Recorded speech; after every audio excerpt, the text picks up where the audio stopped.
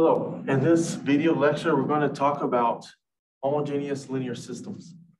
Um, that is, we have a system of linear, and it could be, you know, could be two degrees or higher. Okay, so we have a system of n, we have a, basically a system of linear homogeneous uh, differential equations. And we're going to talk about how to solve that, okay? How to solve these type of problems. All right, so to start out with, um, here's, okay, so basically we have x, so x being a vector here, and so, so this is your, basically you can think of this as your storage for the uh, differentials, okay, of the differential equations.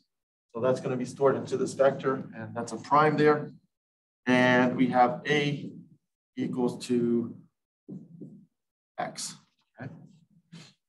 All right, and so this, the X vector, the vector X here represents the, uh, basically that is our solution vector. And then A is going to correspond, uh, basically that is your um, coefficient matrix. So that's going to basically consist of the coefficients for the associated system that we're working with. All right, so given this, okay. So this is what we call general, right, linear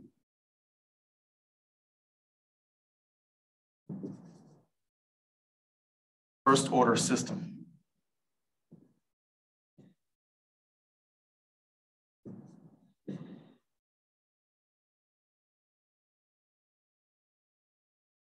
All right.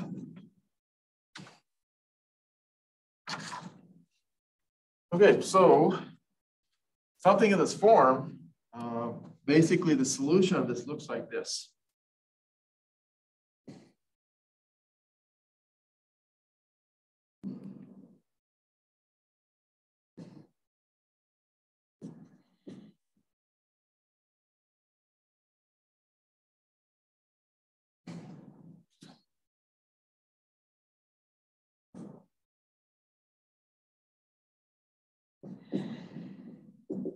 Okay, there's our solution vector, and it has it's going to have this form. We have let's call this each of these entries um, K1, K2 up to K of n. So that's going to match the size of your um, of your matrix. What I mean by that, if your so if your matrix is um, n by n, then this has to be n by one.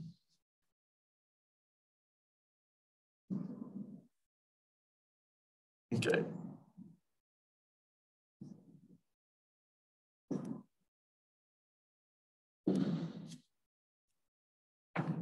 All right, so again, we're going to be looking at, we're going to be focusing on these type of problems.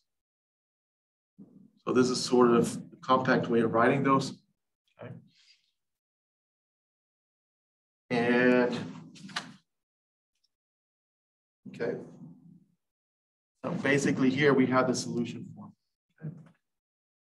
And it turns out, and remember, A here, A here is n by n.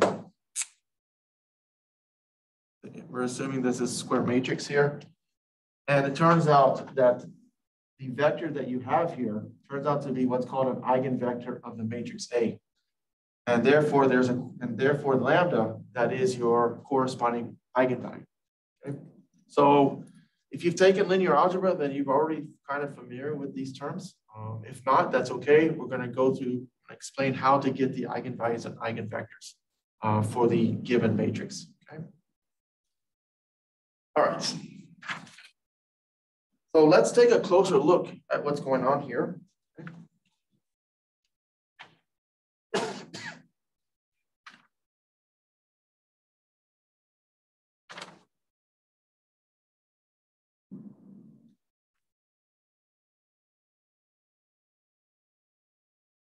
And remember, keep in mind, we're dealing with homogeneous system here. Um, if you think about this,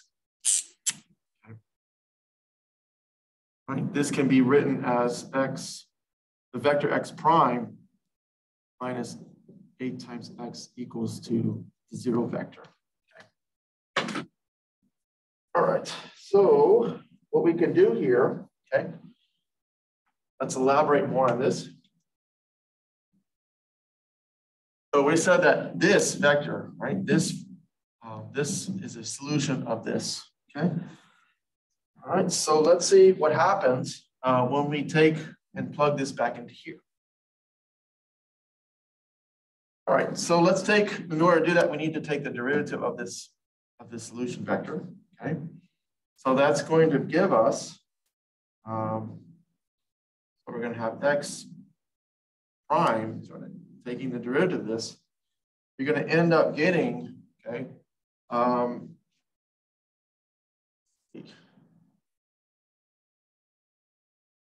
yeah, so because we're taking the derivative with respect to t, then we're gonna get k times t, sorry, not k times, sorry, k times lambda, okay, times e to the lambda t. K is a vector, and then we can rewrite this as lambda times k times e to the lambda t. So that's just the derivative of our solution vector. Okay. And then plugging this, plugging both of these back into here, okay, we end up getting this. We got lambda times k times e to the lambda t equals to a times k times e to the lambda t. Okay, so there is, right, so there's x, the derivative x, there's our coefficient matrix, and then there's x. Okay. So then this implies, right, we can go ahead and um, we can go ahead and um, simplify this. Okay. So we have e to the lambda t here, right? And e to the lambda t, we can go ahead and um, cancel those out. Okay. So basically we're left with this. So in fact, let's, let's rewrite it this way.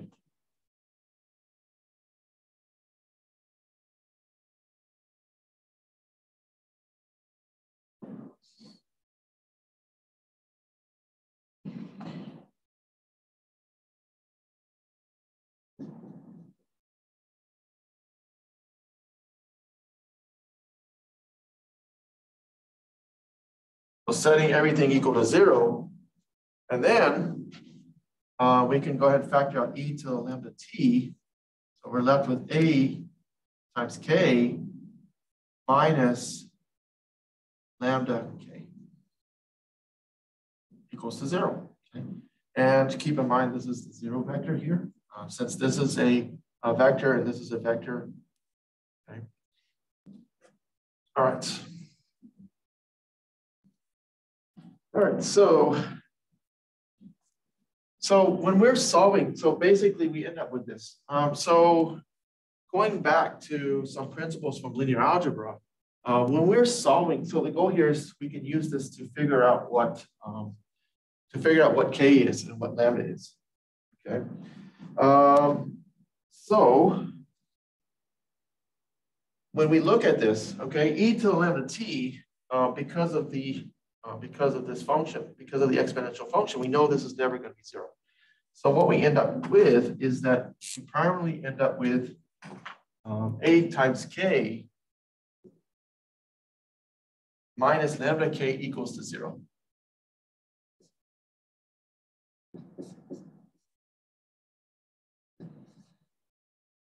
And then from there, we can go ahead and factor out k.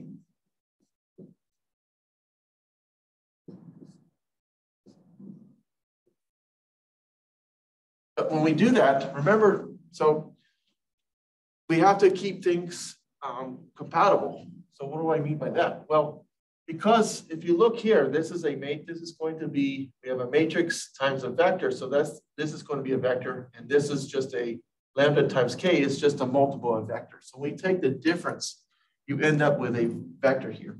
So to preserve this, all right, when we factor out k, um, you know, if we don't have the I there, then we have we have basically a matrix minus, right, uh, scalar value. Okay, so so we can't do that. Operation wise, we cannot do that. So to keep things, to preserve this subtraction, we can put an I here. Now the I means that um, the I basically is the identity matrix. Okay, so if A is n by n, then I will be the n by it will be an n n by n identity matrix. Okay, so so I here denoted by I of n is basically it's going to be one zero dot dot dot, and then you have zero one dot dot dot, and so on. Okay.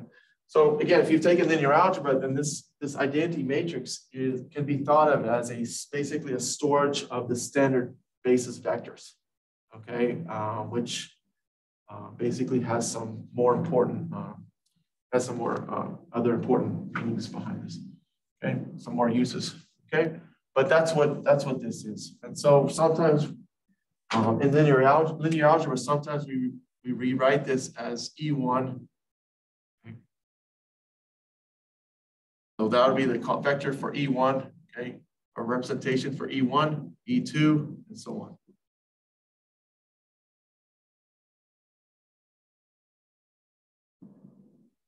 So E1 is basically this vector, right? We have one in the first, right, first position. E2, you have one in the um, in the second row, second column, and so on. E of n, you have one in the nth row and nth column.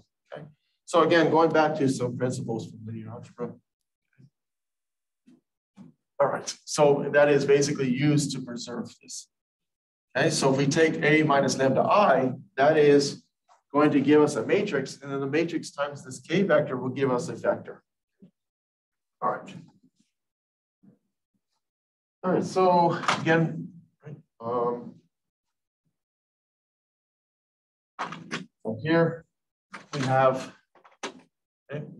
Lambda, lambda is what's called an, eigenvalue.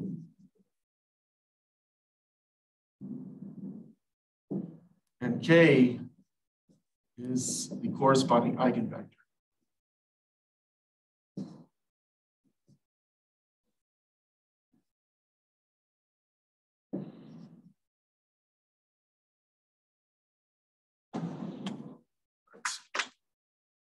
So this right here, remember, this is all coming from this. And that is basically we took our solution vector, right, plugged it into here, right? And so this gives us an insight on how to, on how to solve this, how to get the components of that solution vector, okay? All right, so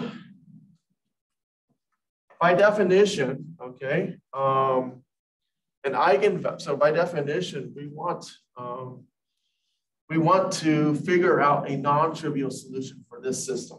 Okay?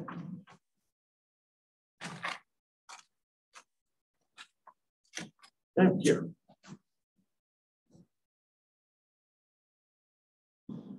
Okay, we want to figure out a non-trivial solution.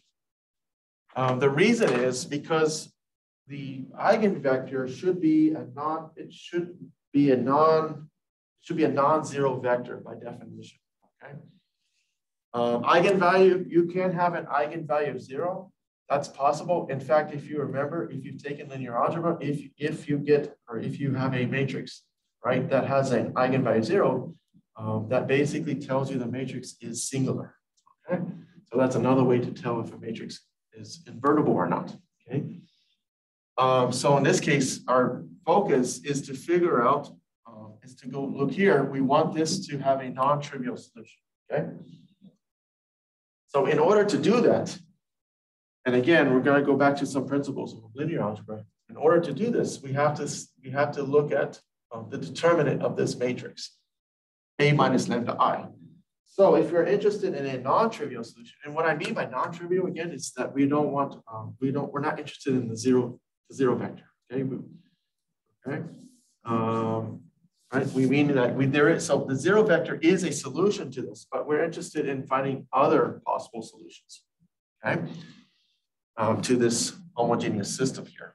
Okay, so um, in, so in, in there's a theorem in linear algebra that says that if you have a system like this, And if the determinant is equal to zero, then therefore, right, um, therefore there's infinitely many solutions, okay? Meaning that the zero vector is not the only solution, okay? All right, so let's write this out. Okay, so we're interested in this.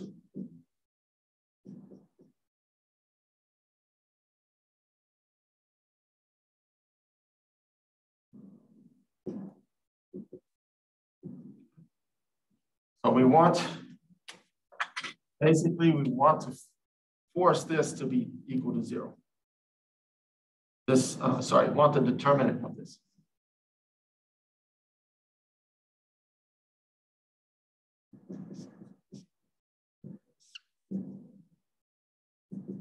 And that is the symbol for a determinant. Okay? So we want right, this to be equal to zero. Okay? And by, by calculating that, um, by, by, cal by calculating this, we can figure out the eigenvalues. Right? We can figure out what lambda is to achieve this. And that is going to get basically what we need. All right. And again, the reason we want this to be zero is because um, we're interested in a non-trivial solution.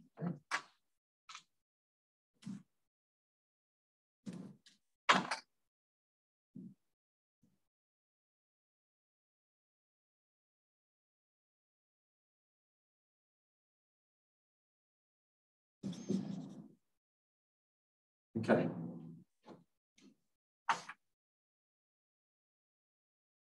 All right, so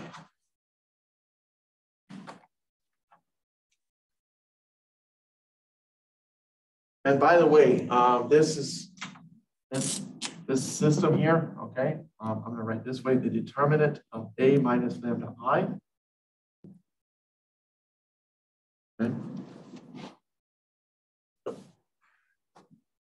Okay. This is going to give us, this part right here is going to give us what's called a characteristic equation, or sometimes we call it the auxiliary equation.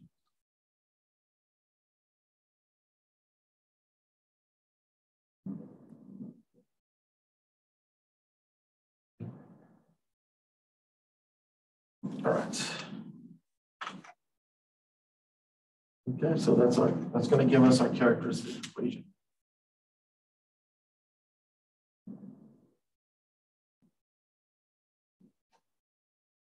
And so this ends up being, um, this, this ends up being a polynomial. And if it's, in this case, if we're working with an n by n matrix, then we end up getting an n degree polynomial, okay? So let's, all right, so then once we do that, okay, once we figure out the lambda that satisfies this, then we plug it back into our, we plug it back into this matrix, and then we solve, basically solve this. And that's and this is basically solving for the null space, what's called the null space of, of A minus lambda I. Okay, so we solve for here. Then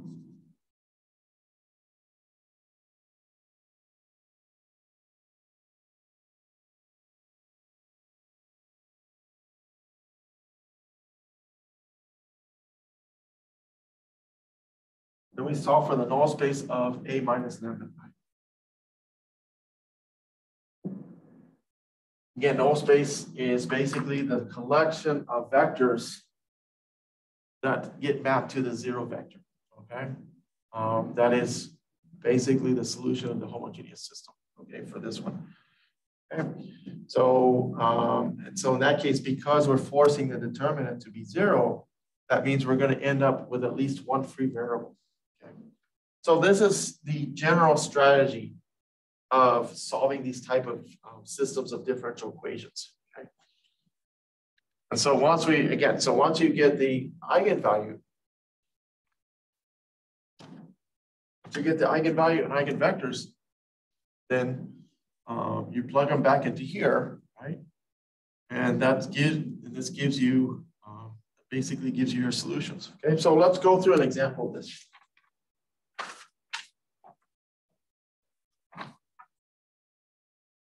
So on these, you can imagine, right? You could, so going back to some things that we talked about earlier before, um, you can get distinct, right? Based on this polynomial here, um, you can get distinct roots, right? okay. Um, you distinct uh, solutions, right? Or you can get um, solutions that involve multiplicity um, or even complex values. Now for this, for the time being, we're going to just focus on the real solutions, okay? All right, so let's go through, so let's go through and illustrate this with an example, okay?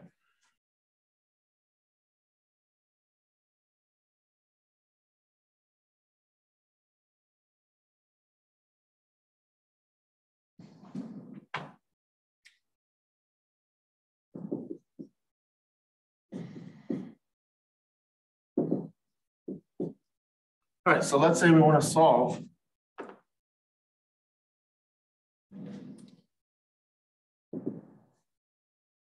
Then we want to solve for d, we want to solve, we have dx dt, dy dt. Let's see, for the first one, we have 2x plus 3y. For the next one, we have 2x plus y. Okay. So basically, we have x prime equals to this, and then y prime equals to this. Okay. So the first thing is to obviously write this in, um, in basically what's called a uh, in matrix form. Okay, we want to get the matrix system from here. Um, okay, so we have dx dt, y dt,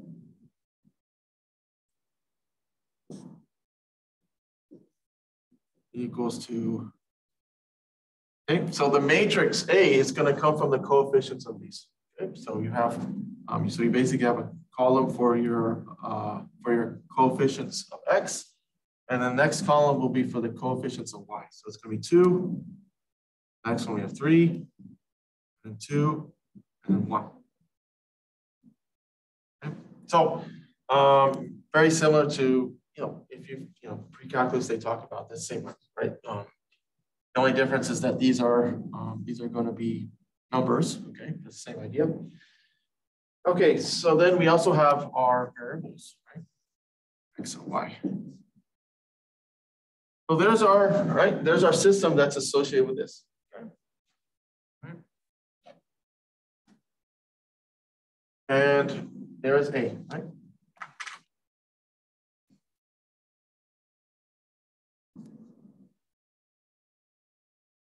So our the goal here, right, the goal here is to figure out, okay, is to find the eigenvalues and eigenvectors of that matrix. Okay, um, going back over here, this is our process. Okay, once we do that, once we get those, then we basically have our solution for this problem. Okay, all right, so let's do that now. Okay, so using this a minus lambda i,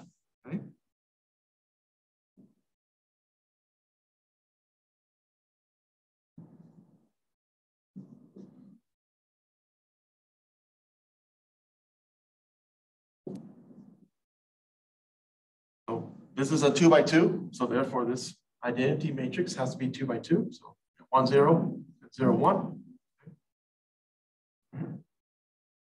And that's going to give us, okay? So to do this, you subtract the entries component wise. So you have two minus lambda. Okay. Minus lambda, and then we have three. This is going to be two minus, I'm sorry, two, right? Two minus zero, and then we have one minus lambda.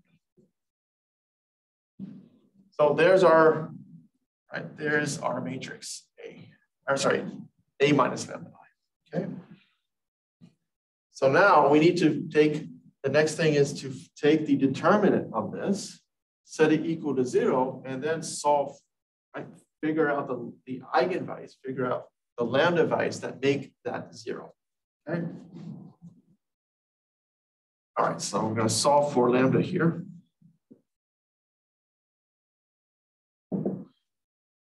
Okay, so we take the determinant.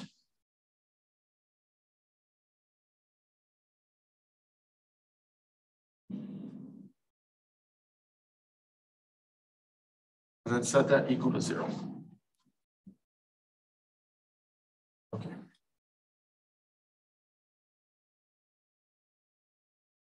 Right, let's do that over here.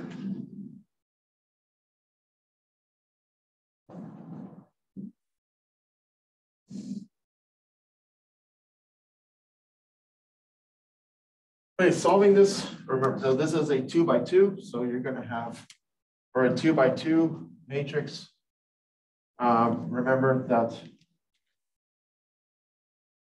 if you have the matrix, right, if you have A, B, C, and D, and if you're taking the determinant of that, uh, that looks like this. So you take the product of these entries minus the product of these entries. So applying that here, we're going to get 2 minus lambda times 1 minus lambda minus 6 equals to 0. Okay. And multiplying everything else, okay, we end up getting uh, lambda squared minus 3 lambda minus 4.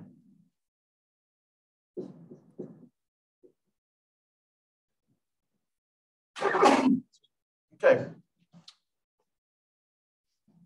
Um, solving that, um, this is factorable. Okay.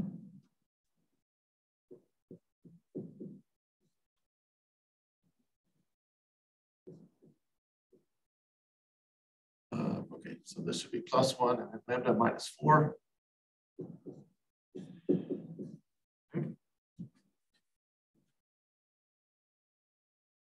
And then we end up getting lambda equals to negative one and lambda equals to four. So there's our, right, there's, there's the eigenvalues, okay, that we're gonna work with, okay? So now what we need to do is we need to figure out, um, we need to use these to figure out the corresponding eigenvectors, okay? So let's look at uh, the first one.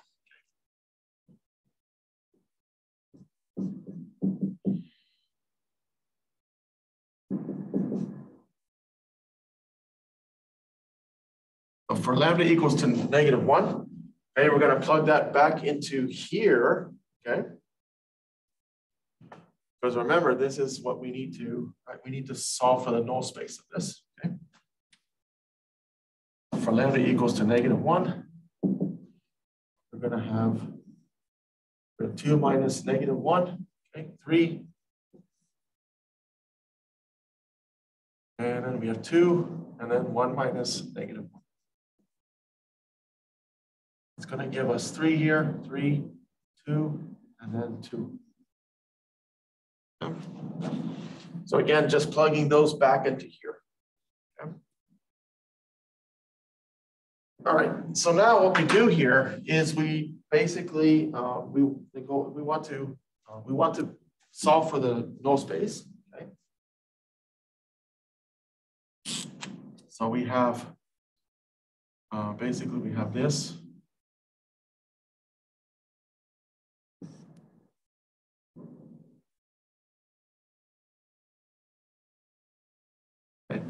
So what I did here, okay, is remember, so this is this is acting as a coefficient matrix, okay? And then I augmented the zero vector, okay?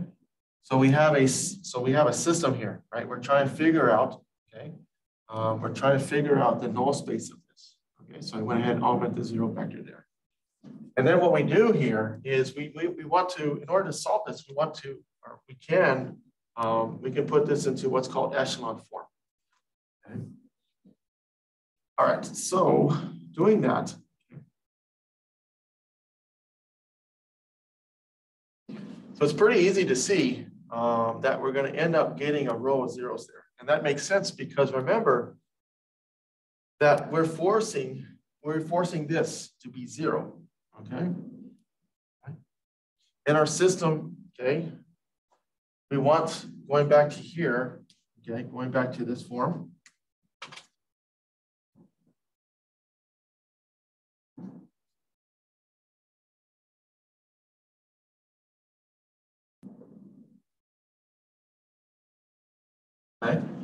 we were forcing this to be zero, right? So that means, okay, if we're forcing the determinant of this to be zero, that means we're gonna have, um, we're gonna have at least one free variable, okay?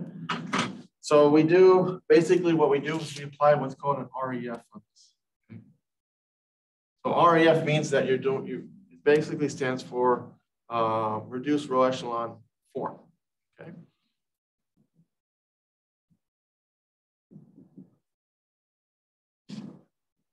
And the way, so what you want to do is you want to make that zero, okay? So you can get the zero by multiplying the first row by minus two thirds. Okay? So I'm actually, so let me explain a little bit more here.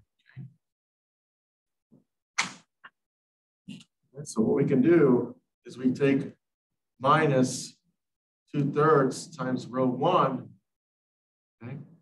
And add that to row two, and then store the result in row two. Again, the reason we use minus two thirds is because when you take minus two thirds times three, you're going to get minus two, and then plus, and then plus two would give you zero here. That's we want to get this to zero. Okay, so we have three here, and because this is also three, this part is going to be zero. And then zero is not going to affect everything. It's not going to get affected. All right. All right, so then furthermore, what we can do is we can divide each, we can divide the first row, right? Each of the elements in the first row by three. So that's one third times row one, and we overwrite with row one.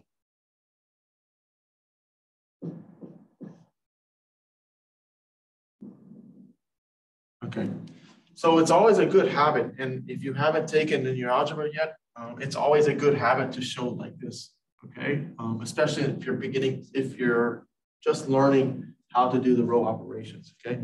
And again, this is something, depending on who you took, um, this is something that they should talk about in pre-calculus, okay? Um, I certainly do talk about that in my pre-calculus class towards the end, uh, because it is, a, it is very important to know how to do this. Um, obviously, because we're using it here, uh, but this process is also used in more advanced coursework. All right, so the bottom line is that we got this, okay, and transform this matrix into here. So this is, um, basically we say that this matrix is row equivalent to this one, okay? And those are the sequence of row operations that we used to achieve this result.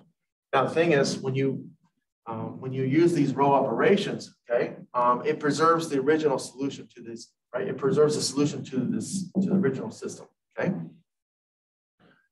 All right, so you can also do this on your calculator, okay? And I'll put a, I'll put a link in the comment section to, um, that will link you to another video on how to do that, okay? Because sometimes, um, you know, obviously if this was like a 10 by 10 matrix, doing this kind of work would be very tedious, okay?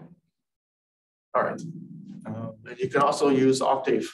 Um, Octave has a built-in, very nice, it's, it's actually built for this kind of, um, uh, to this kind of operations. Okay. All right, um, so now we got this, we got to this point. So now we need to figure out, we need to solve this system, okay? All right, so what we do here is, okay, we want, okay, we're going, so go back to here. We have a row of zeros as we expected. So we get what's called a free variable, okay? Which means that you have, okay, zero times anything, right, will give you zero. So this is gonna give you uh, what's called a free variable, okay? So we have, um, so what we're gonna do is we're gonna let, okay, typically what we do is we say, um, again, let's, since we're working with X and Y here, okay, so we're gonna let, this is X, this is the column for X, this was the column for Y. So we're going to let y be equal to some value t. That's our free variable where t is some real number. Okay, so this is the formal way to, um, to set this up. So we let y be equals to some value, okay? And again, you should never use the same variable. Um, you should never use the same variable to assign this. It's, it's not good mathematically. It's not good coding practice, okay? All right, so you're letting y be some value t. All right, so now from the first row, okay, you're going to have x plus, okay, uh, plus y equals to zero. Well, we know y is t, so this is going to give us x plus t equals to zero, and obviously x is going to be minus t. There we go. We have x um, and y. So our solution vector for this okay, is going to be minus t and t, and we can go ahead and factor out the t and we have minus one and one, where t is an element of the real numbers. Now keep in mind here, okay, that basically we have this, okay. So any solution, okay, this turns out, so this turns out to be um, the solution, this turns out to be the solution of the system, right? So any, right, any t value and you put any t value there, you get a solution, including t equals zero, which gives us the trivial solution. Um, so we basically say that x, right? We basically say that any solution that's in the span of this vector is a solution, okay? So this implies that x belongs to the span of your vector minus one, one. This right here, this is called the, this is basically an eigen, this is basically the basis for the eigen, for the eigenspan, okay? So we call this the eigen, right? This is basically the eigenbasis.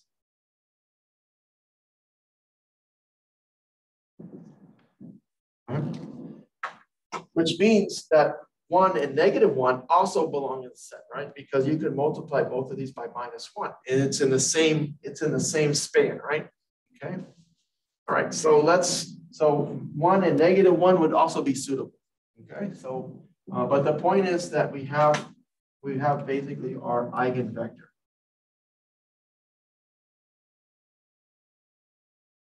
For uh, the eigenvalue of minus one. Okay.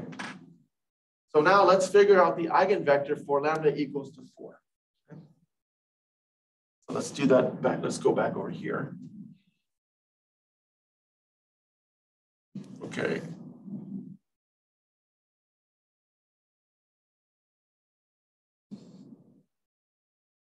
Okay, so for lambda equals to four,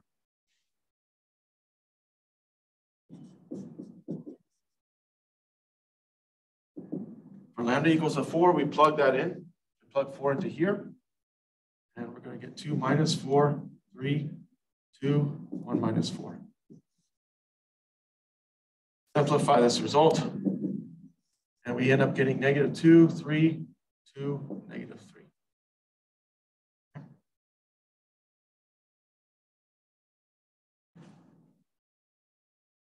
Okay, so we're back to the previous step, right? So what we need to do is figure out the null space of this matrix, okay? All right, so we're gonna have minus two, three, two, and minus 3. Again, doing the RREF,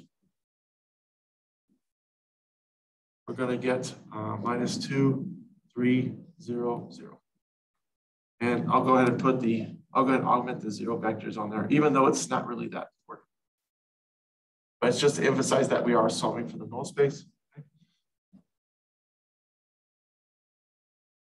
Okay, so doing the REF, remember that's what we basically that's what was done here as well. Okay, now we go back and solve for this. So we're going to let y be equal to some parameter t. Okay.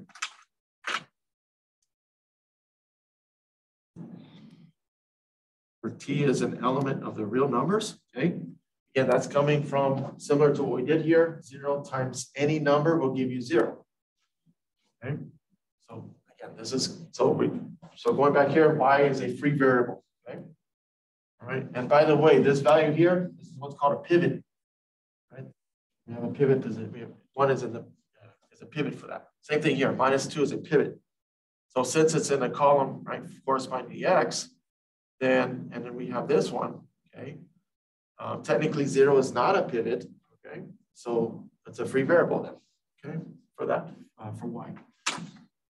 Okay, so since y is equal to 2, I'm sorry, t, then we can figure out what x is. So we go up here, we have minus two times x plus three times y equals to zero. Since y is t, we have this minus two x plus three t equals to zero. Okay. And then we have, furthermore, we have minus two x equals to negative three t. And therefore x x has to be equal to 3 halves t. Okay. So let's write our results. So we have the vector, the solution vector x. So this is 3 halves t. And then we have y was t. So now this is the same, right, as this. Okay, t times or t times the vector 3 halves y. Okay, so we have something similar to what we had over here. Okay, so again, we have basically the span of this vector, any right, any vector in the span of this vector is in is in the uh, solution set. So traditionally, the eigenvectors are usually written where the entries are integer values. Okay, so notice we have a fractional value here. So the way we can get this in integer form is to multiply these entries, multiply each one by the denominator here, which in this case is two. Right? so this applies, right? This is this, right? So what I mean here, this is the same, right, um, as saying this. So whatever's in here is also in here. All we did is multiply both of these by three, by, um, sorry, by two, okay?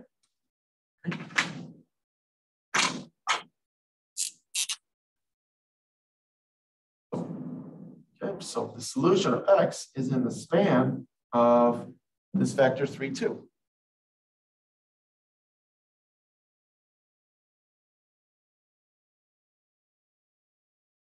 So that is, that turns out to be our other eigenvector. Okay?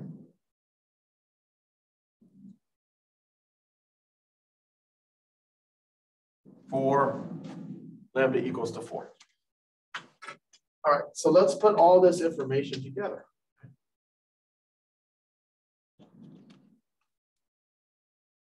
Okay, so we have um, we have the eigenvector and eigenvalue for this corresponding eigenvalue, and we have this eigenvector corresponding to that eigenvalue. Okay, so we take we put those each so each of these. Okay, we're gonna have the this okay times e to the negative one t plus this eigenvector times e to the 4t.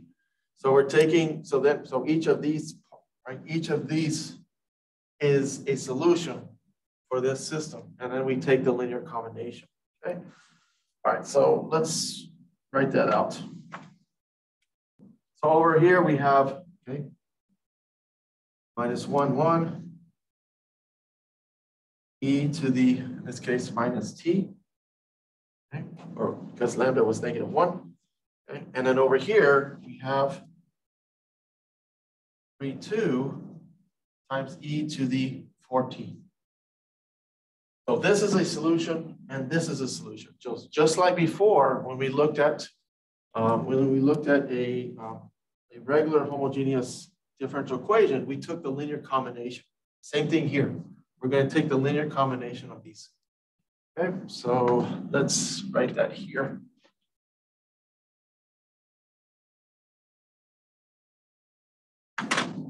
So the overall solution okay, that we get is this.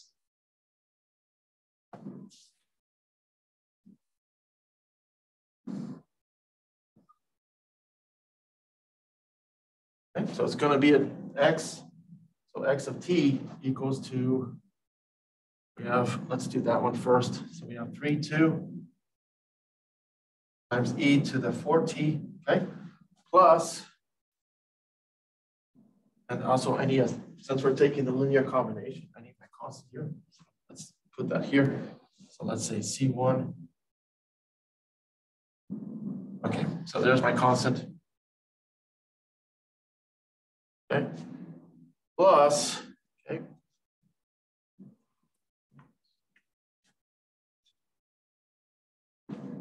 Make sure there's room there, plus C2 of this one. All right, there's our, there's our solution, okay, for this uh, system, okay? All right, so you can kind of get, you can kind of get the idea here. Um, if you have a, a, system, let's say it's, and there's a, um, and there's a uh, n by n matrix associated with that. And let's assume that you're, for the, for the characteristic equation, you get an n degree polynomial. And let's assume that you have um, n distinct roots. Then for each root, you're going to have one of these, you're going to have a solution of these forms. So in this case, it's two by two. Our characteristic equation, we had two distinct solutions. So therefore, we have each one of these is a, is a solution. And therefore, the collection of this gives you basically your fundamental solution set. Okay? Or in other words, basically just taking the linear combination forms the general solution. Okay? All right, very nice. Um, definitely a very nice application from linear algebra.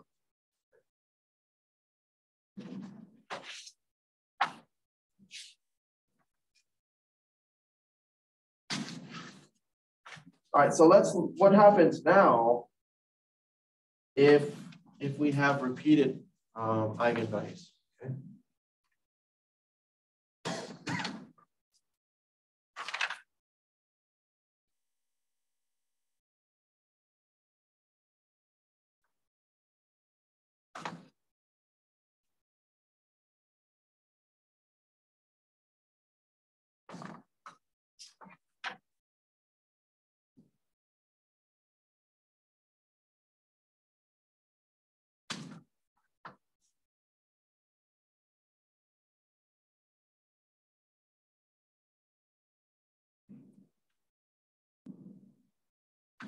All right, um, let's.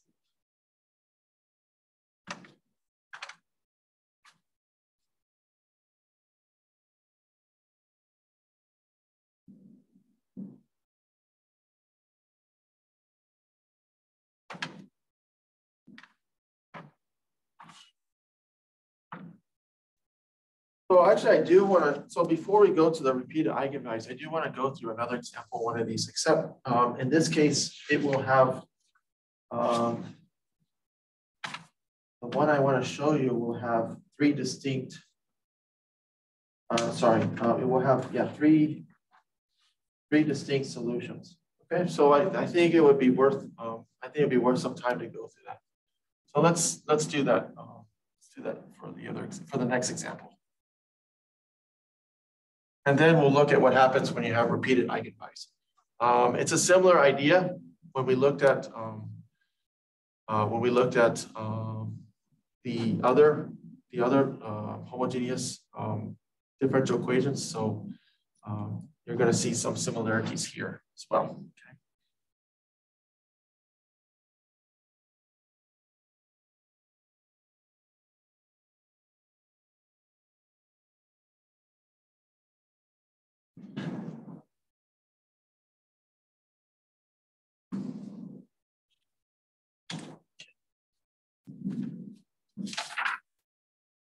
All right, so let's say we're solving this now.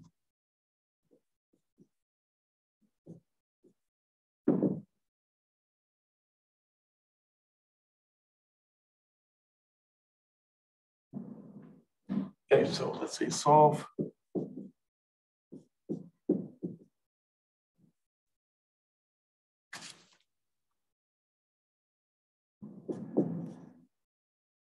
So we have one, negative two, two, minus two, one, minus two, two,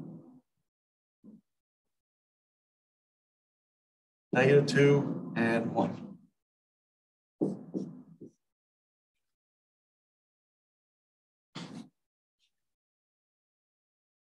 Um, notice that we're working with a um, symmetric matrix, which means that if you take what's called the transpose of this and you end up getting itself. In other words, if you look along the diagonal here, you can see that you have minus two, minus two, two, two, and negative two and two. Um, so we have a symmetric matrix, which has a lot of um, there's a lot of nice um, properties for these, okay? And again, you'll learn, if you take linear algebra, you'll learn, you'll learn about, you know, you'll, you'll learn the benefits of these? Um, so let's start first, right? We have a three by three, so we need to figure out, right, to solve this, we need to um, find the find the eigenvalues. So we need to take the determinant of this, this one. So let's call this A here. A minus lambda I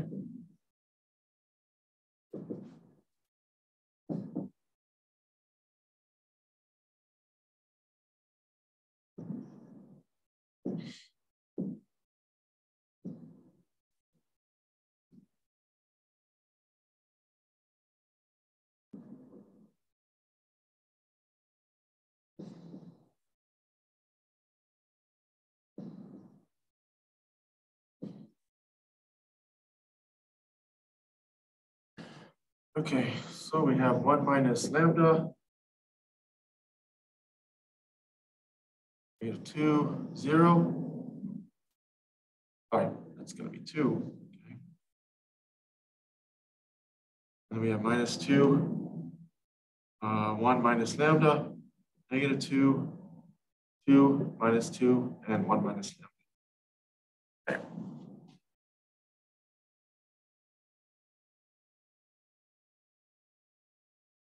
All right, so there's our, right, there's our simplified form of this.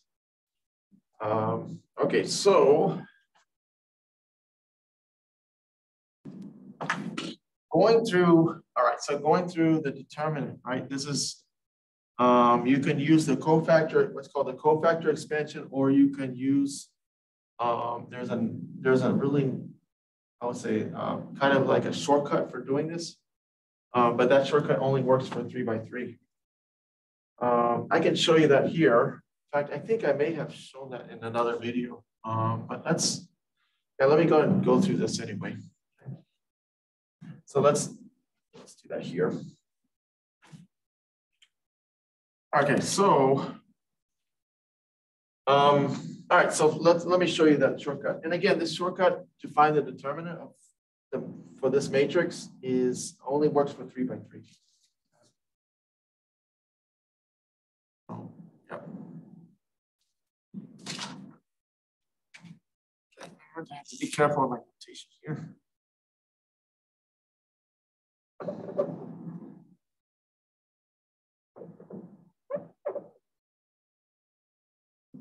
One of my former professors was very, very strict on notation. He would take off points if you use the wrong notation. so, which I think is good actually, it helps it um, later when you're uh, when you're actually writing um, when you start to publish uh, papers. But in any case, here's like, here's what we're looking for. Okay, so let's figure out the determinant of this. Okay, so we have one minus lambda, negative two, two, minus two, one minus lambda. So just kind of recopying all this and then what we want to do is we want to take column one and put it here. Put column two, uh, take column two and put it here. Okay, and then what we're going to do is we're going to look, we're going to multiply along these diagonals. Okay. Yes, so we have this one, and then this one here.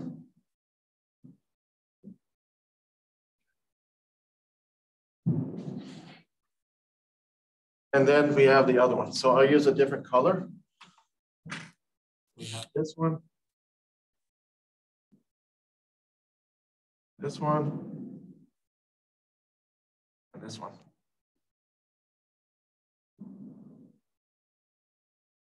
And again, this only works for a three by three. Um, and like I said, you can also use cofactor expansion here.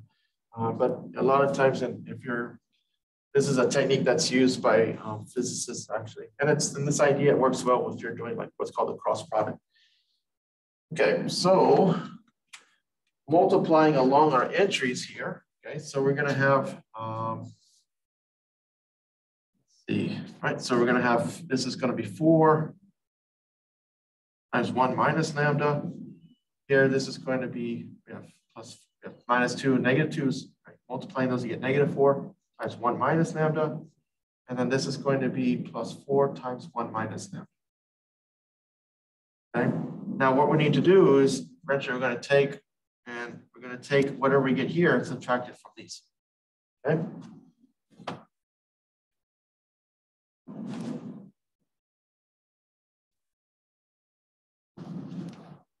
Okay. So now, okay, we take the product of these. We're gonna get, and we're gonna, so we're gonna get, we're gonna, whatever we get here, we're gonna subtract this one, okay? So we get one minus lambda power three. Um, here we get minus two times negative two times two, that's gonna be plus eight. And then here we get plus eight again. Okay. And remember all this, right? We're interested in um, taking this and setting it equal to zero. Okay. So simplify all this. Okay. Um, so it takes a little bit, a little bit of work, just a few lines here, uh, but we end up getting this. I don't want to kind of bore you. I don't want to bore you with the details of that. Be able to do this if you're, you know, if you're in differential equations. All right, so there's so there there's what we have. We have a um, third degree polynomial here. Okay, and right away you can see that we're going to get a uh, we have a uh, we have a root there uh, with multiplicity of two. Okay. All right. Uh, see. Okay. All right, so let's see what happens with that case. Okay. So this is a good example uh, because of this here. All right, so um, let's go and solve this. Obviously, we're going to get lambda equals to negative one. Actually, this is going to be, yeah, so sorry, minus one with multiplicity of two. And then we have lambda equals to five with multiplicity of one, okay? All right. All right, so let's look, let's go ahead and find the, the corresponding um, eigenvector for lambda equals to negative one. All right, let's do that here. So we can take this and substitute into, into uh, our matrix here, right? Into here, right here. Okay, so we have Okay, so for lambda equals to negative one.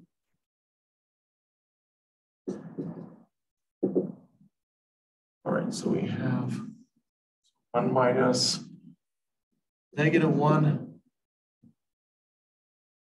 Then we have negative two, we have two, minus two, one minus negative one, negative two, 2 minus 2, and then 1 minus negative 1. Okay. This is going to give us 2 here, minus 2, 2, minus 2, um, 2, negative 2, 2, negative 2, and 2. All right, assuming I did all that correctly, I'll just double check myself here. Um, Everything looks good. Okay, so we do the REF on this. Okay, so we can you can use your calculator here. Again, I, I'll provide a link in the, um, there will be a link in the, uh, uh, there's a link on how to do that, how to put, given a matrix, how to put the matrix into REF. Okay. So we end up getting, okay, I probably need to move this down here.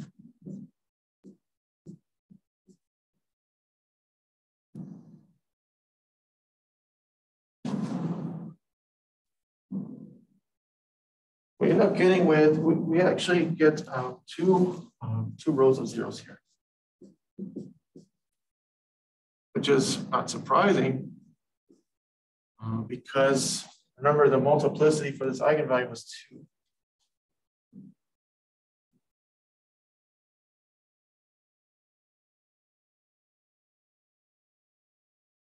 Okay, so we need to find the null space of this.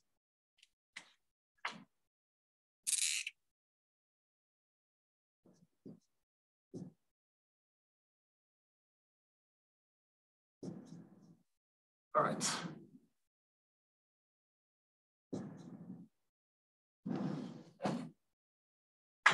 Okay, finding the null space, okay? We have, this time we have two free variables. Why is that? Well, because again, we have a pivot here, and let's say this is X, Y, and Z. So we have a pivot corresponding to X, and then we don't have a, we have a zero here and a zero here. So we're gonna have a, right? So we have a free variable for Y and a free variable for Z. All right. Okay, so, all right, let's write that out. Okay, so we're gonna let Z be equals to, um, I'm gonna call this, see, it looks like, yeah, I'm calling this T, okay?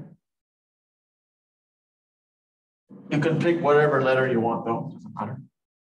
As long as it's not the same variable, it's, again, it's not good practice to do that. T is an element of the real numbers. And then I'm going to say um, for y, we're going to, we need to pick a different representation. So let y be equal to s, where s is a element of the real numbers. Okay. Okay, so that means we, right, that means for x, we have this. So x, we have x minus y plus z equals to zero. That's coming from this first row. So we have x minus s plus t equals to zero. So just plugging in S and T and then solving for X. So X turns out to be S minus T, where S and T are real values. Okay, so we have, basically we have X, Y, and Z all in terms of our free variable. Okay, so the solution vector for this okay, for the, for the null space, right? We have S minus T, we have S, okay? Right, because you have X, Y, and Z, okay? So I'll write that out here just to illustrate that.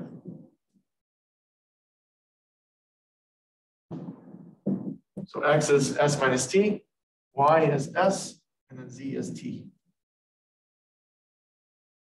So what we can do, just like we did before, we can write it in what's called parametric form okay, where we basically um, factor out the variables. We have S, okay, so that's going to leave us with one here, one, and then zero. We don't have an S here, right? And then plus T, in factor out T, that's going to be minus one, zero, and one. Okay, so now this basically describes our solution space. Okay, so X, right? Um, so X belongs to, any solution of this belongs to the span of, I'm to say this is V1.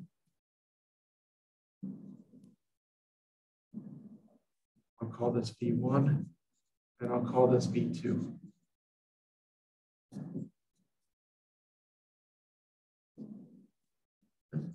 So any solution of this belongs in the span of V1 and V2. In other words, right, we're just taking the linear combination In fact, these two vectors form a plane.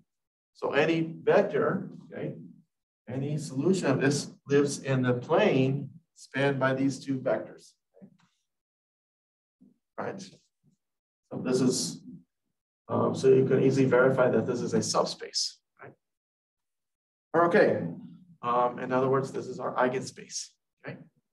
All right, for um, for that for that eigenvalue. Okay, so we have. Okay, so our eigenvectors this.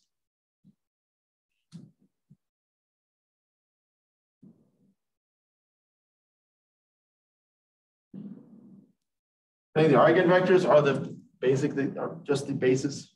Okay, We have one, one, zero, and negative one, one, sorry, negative one, uh, zero and one. So there's our eigenvectors for lambda equals to negative one. Okay. All right, now we have to find the eigenvector for uh, for lambda equals to five. Okay, so let's do that here.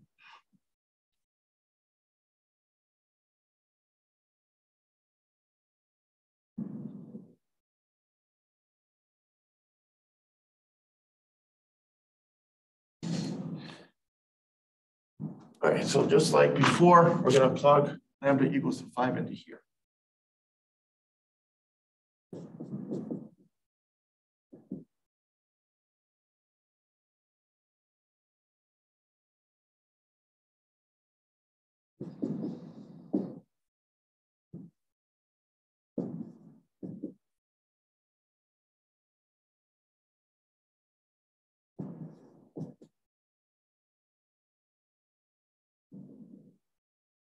Okay, so just plugging five into, into the lambda values here, and we end up getting negative four, negative two, and two, minus two, um, negative four, minus two, and two, negative two, and negative four.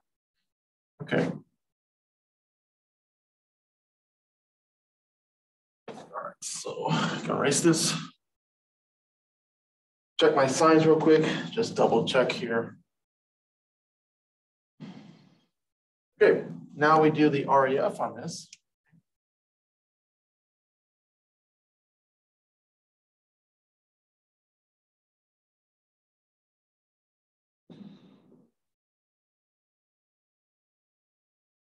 And we end up getting one, zero minus one, uh, zero, one, one, and last row is all zeros, has to be, right? We're always, again, we always, um, we're always gonna get at least one row of zeros because we're forcing the, the determinant to be, to be zero. Now we gotta find the null space for this matrix.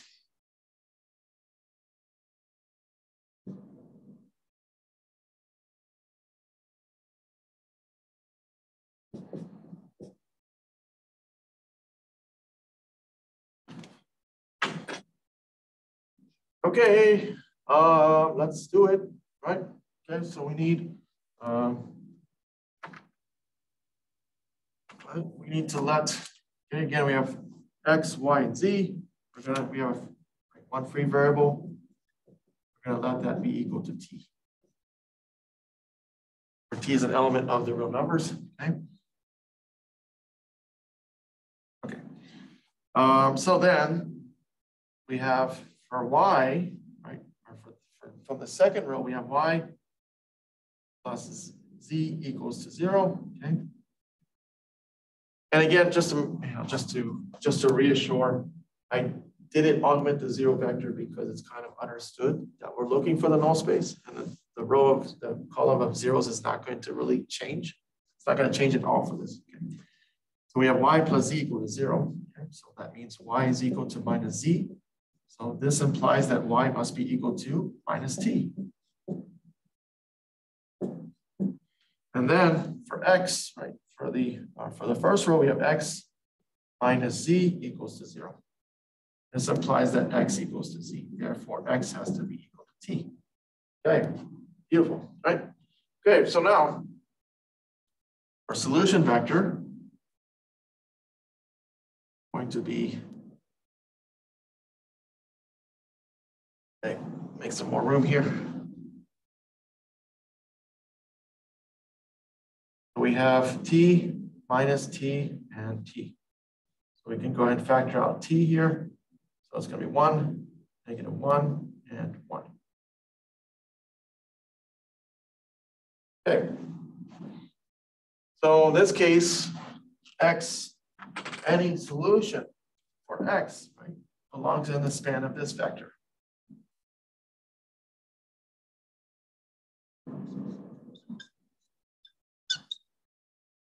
So let's call that, we're gonna call that V1.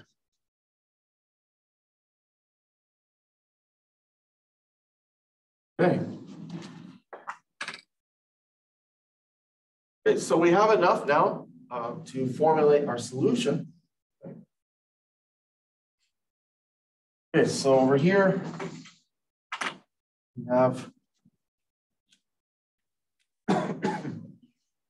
so we have, um, yeah, C1, that's right. So over here we have, right this way. So we have E, E to the lambda T, sorry, have to put the vector there. So we have one, one, zero, times e to the minus t, and we have minus 101 e to the minus t.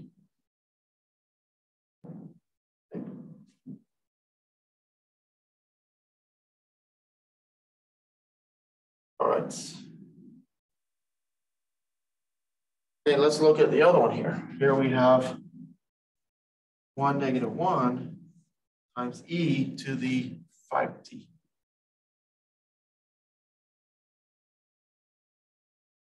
Okay. So now we just take the linear combination of those. Okay. So the overall solution that we have, okay, is going to be this.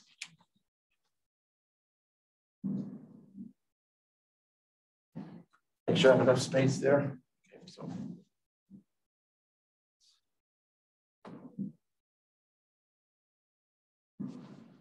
Okay, so x of t is going to be equal to, um, doesn't matter, doesn't matter the order in which you put these in, but each one of these should have a constant. You're taking a linear combination of all this. So we have C1, 1, 1, 0,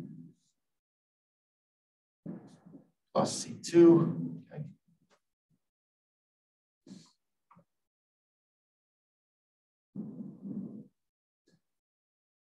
Okay, times this factor, e to the minus t.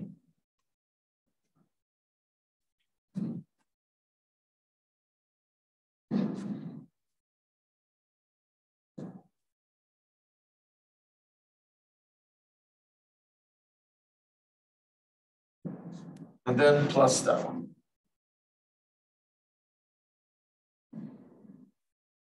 So 1 negative 1, 1 times e to the 5t. And there it is. Okay, there's our solution to this system. Ooh, all right. Okay. All right, now let's see. Um, let's see what happens when we have, if we get, um, if we have, um, okay, let's see.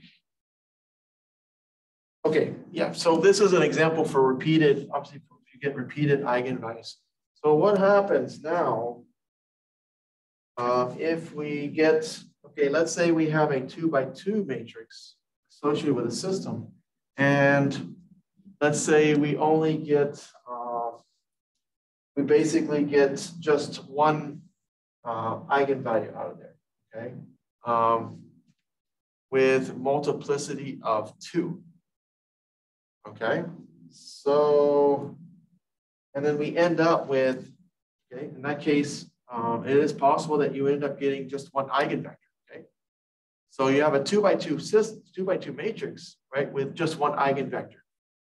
So ideally, you want to make, you want the number of eigenvectors should match the the size, right? The number of rows or columns, okay? So let's look at what, let's look at that uh, particular situation. So, so for example, here, here we're okay uh, because when we, when we solve for the eigenvalues here, uh, we ended up getting, um, it ended up that negative one had a multiplicity of two, and then we, then we got two eigenvectors from here. And then the other one for lambda equals five gave us the gave us another eigenvector. So we have a total of three. So basically the, so in this case, the, uh, the eigenvectors, right, this, um, the collection, okay, of eigenvectors that we have um, um, serves as a basis for the uh, for our vector space. Okay, uh, but sometimes doesn't always happen that way. Okay, so we're going to look at that situation and what to do. Okay. okay.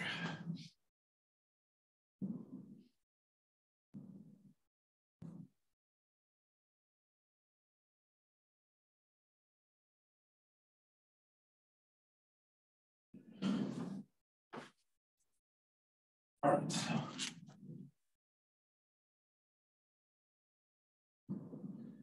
All right, so let's consider the uh, following examples. So first of all, right, so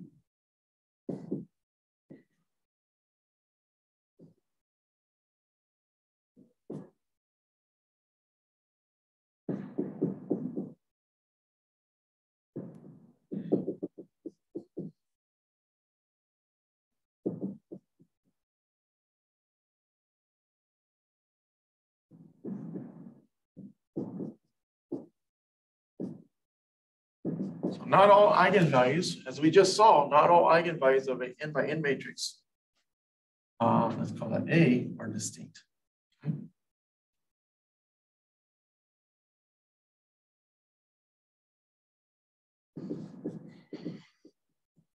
And so then, again, what happens is that um, it's possible that you find an eigenvalue, okay? Let's say it's like in this case, let's say we have two by two, and we get its multiplicity of two. However, it only has one eigenvector.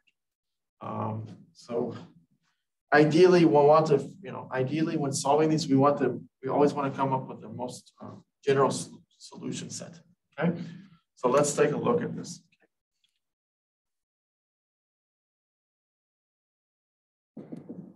Okay, so let's consider this, consider the following system.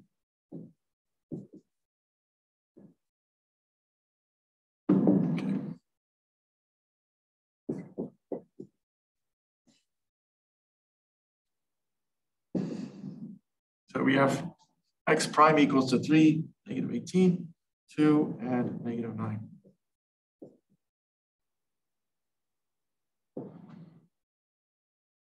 Okay, let's go ahead and find the, um, let's go ahead and first find the eigenvalues, see what's going on here.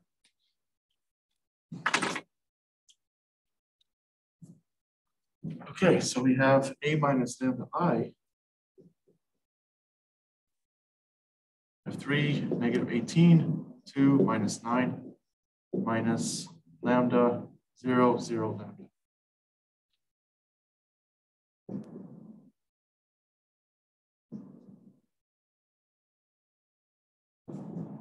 Okay, so that's going to give us 3 minus lambda, minus 18, 2, and minus 9, minus lambda. Okay, let's go and find the, right, go and find the um, oh, uh, sorry, the determinant of this, okay.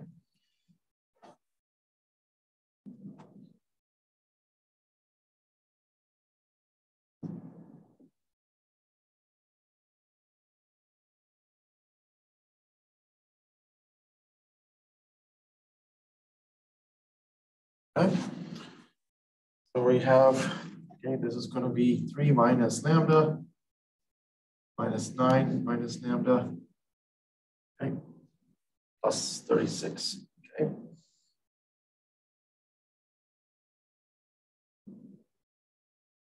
And so now we're going to set that equal to zero, right? Do that here.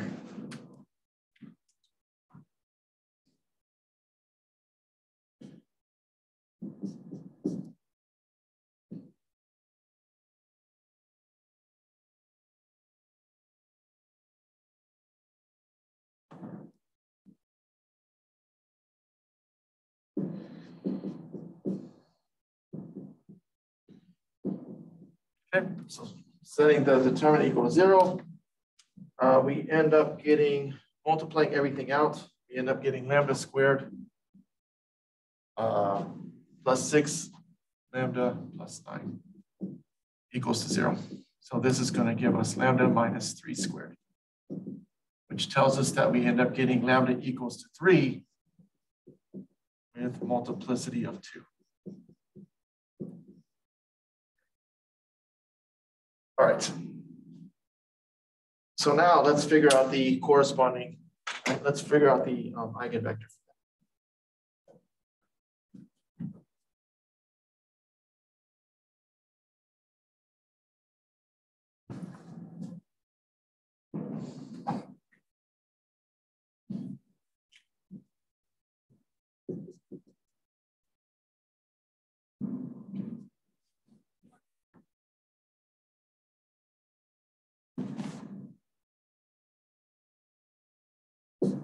Okay, so plug three back into here. Okay.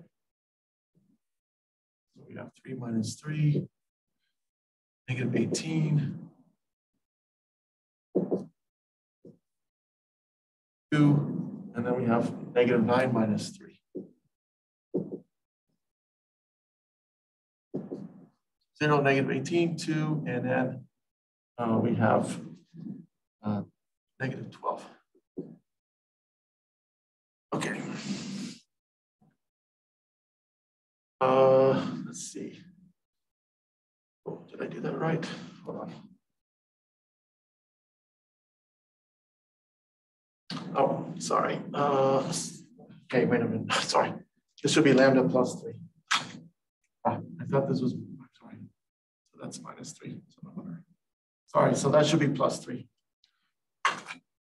which makes sense from what I had earlier here. So that changes, obviously that's going to change this here. So, so that's going to be three minus negative three.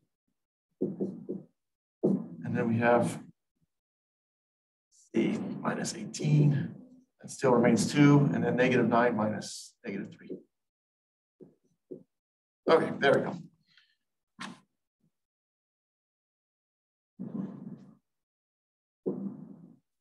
So we have six, negative 18, two, and negative six. I was curious about that because I was thinking, how could that be? You know, the, what I had earlier, it's like, didn't look right um, because it didn't have, um, when reducing it, it, there was no way to get a row, to get a um, row of zeros. So if that happens, if you're reducing something like this and you don't get a row of zeros, you don't get at least one row of zeros, then there's something, then that means there was a miscalculation before which is what, which is what I um, discovered here. Okay, so, um, so yeah, lambda should be minus three. Now everything looks uh, looks fine. Okay, and then going through, do the REF on this.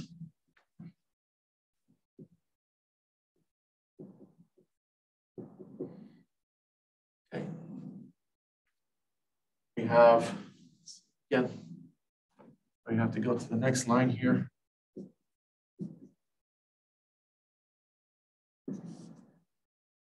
So we're going to end up getting right, a row of zeros here. So we have, let's see, one, negative three, zero, zero.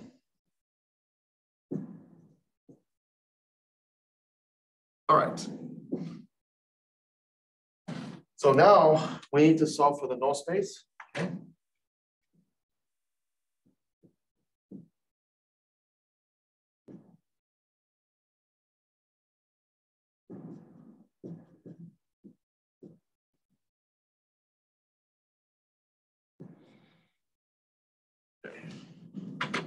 Solving for the null space, okay, again, we have a free variable in the, um, for y.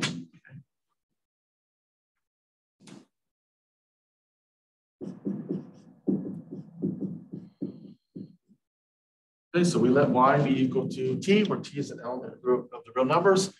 Um, therefore, um, for x, we have, or looking at the first row, we have x minus 3y equal to 0. Um, so this is just x minus 3t. And therefore, x is equal to 3 times t. So therefore, for our solution vector, okay, we have, um, let's see, 3t and t, which is the same as t times 3, 1. So writing this in parametric form. Okay, so that tells us, um, hold on, let's see. three, one. Yep. Okay, so that tells us, right, again, the span of this, uh, the solution of this spans the vector three, one. So this is what we want to use for eigenvector. This is the eigenvector corresponding to lambda equals to three.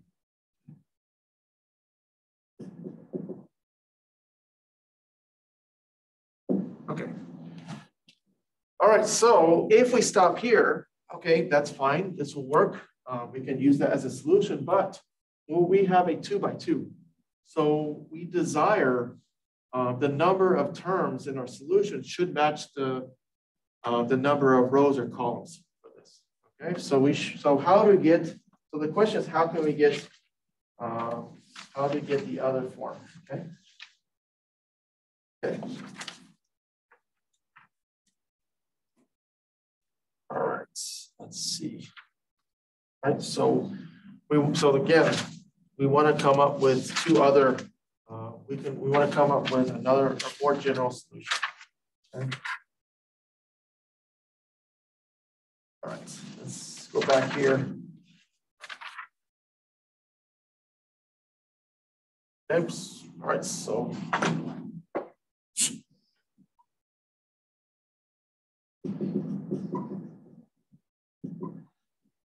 So we're interested in finding the general solution.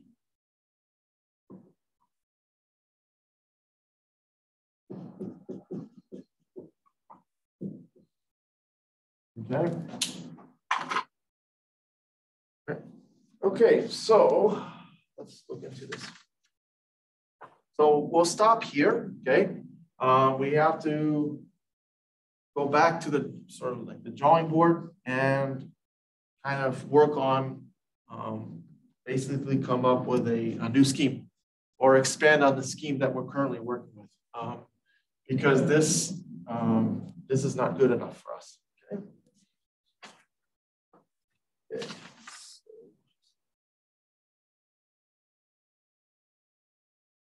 So it turns out that there will be, right, there will be a, a second solution of this.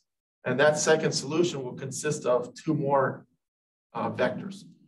Okay. All right, let's go back here.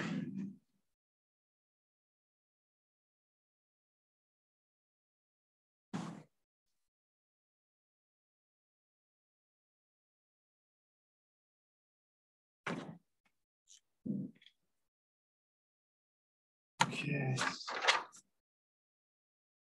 All right, so suppose that Again, we'll go back to this, okay? We just need to go, need to examine what we have here. So suppose that lambda one is an eigenvalue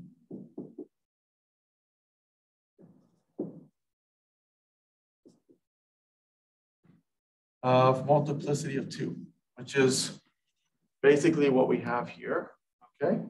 So if you recall, I think if I remember correctly, yeah, we had an eigenvector multiplicity of two. So let me just indicate that here.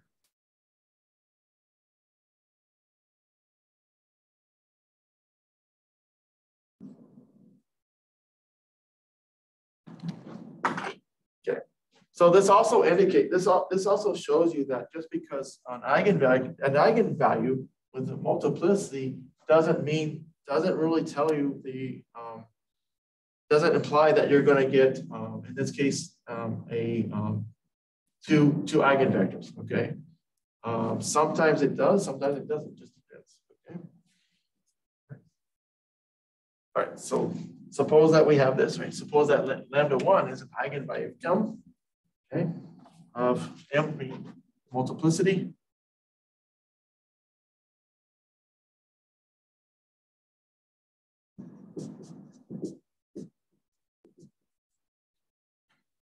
two or more.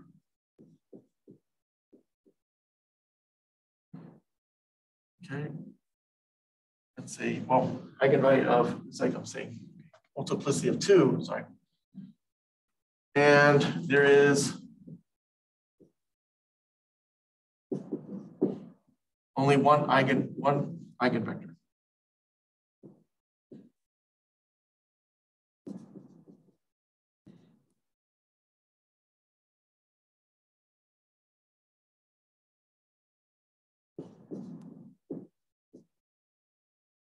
That's associated uh, with this value.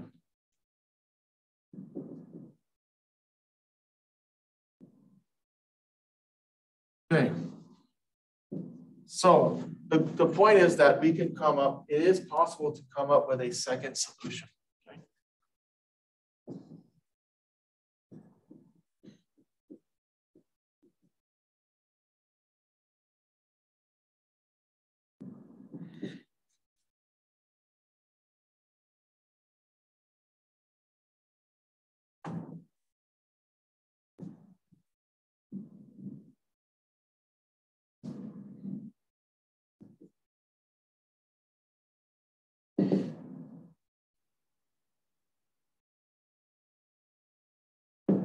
Okay? Um, that form is given as x of two okay, equals to k times t e to the lambda one t plus p. Okay, so um, k and k and p are going to be uh, basically those are vectors in our vector space R of n.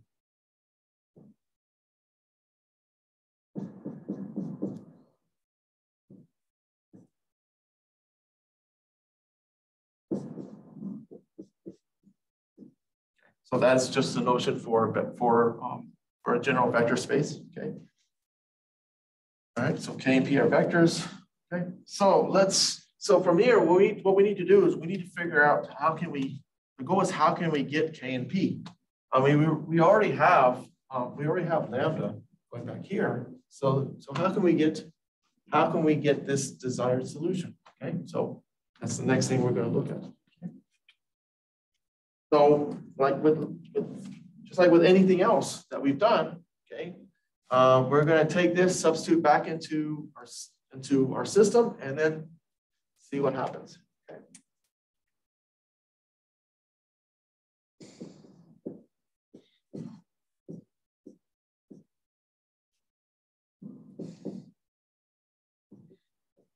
We're going to substitute this into our system.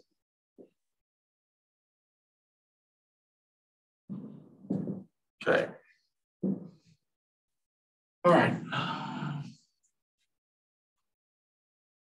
All right, so we need, obviously, we need to take the derivative of this. Okay. Let's do that. Okay.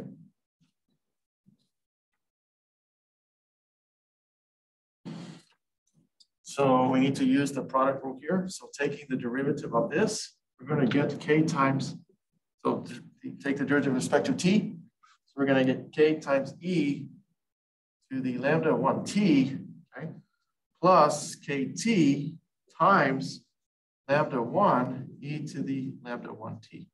So just using the product rule here, okay, plus, okay, taking the derivative of this, we're going to get p times lambda 1 times e to the lambda 1t. So that is the derivative of x, okay, of x2. And then that's going to be equated to a times x.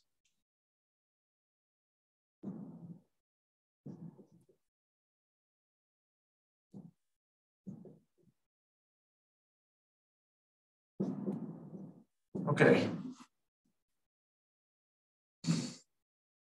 Make sure everything's consistent here. Okay. Um, see.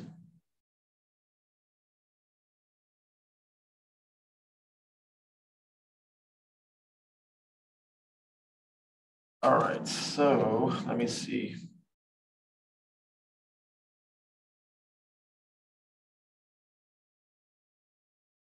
Times, all right, so I'm gonna set, so basically I'm gonna set all this equal to zero. Okay.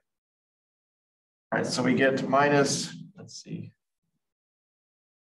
Um, okay, so I'm gonna write this way. So minus a k t e to the lambda one t. So I'm basically going to move these over to this side.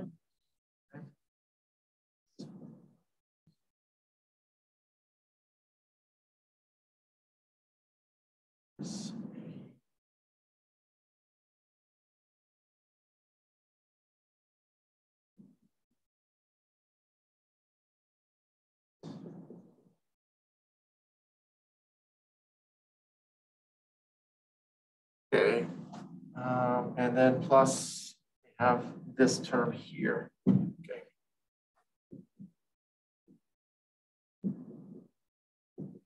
Okay, so again, just I'm just rearranging and setting everything equal to zero. And the reason I the reason that I wrote it out this way is so that we can um, go ahead and factor out, recognize that we have a common factor here. So t times e to the lambda one t and same thing here. Okay.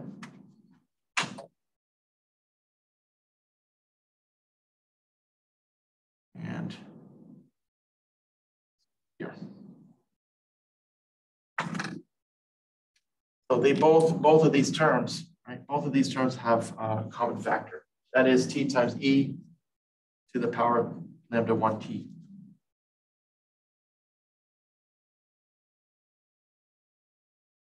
Uh, okay.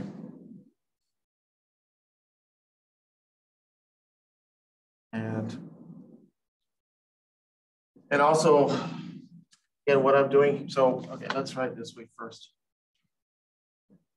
Okay.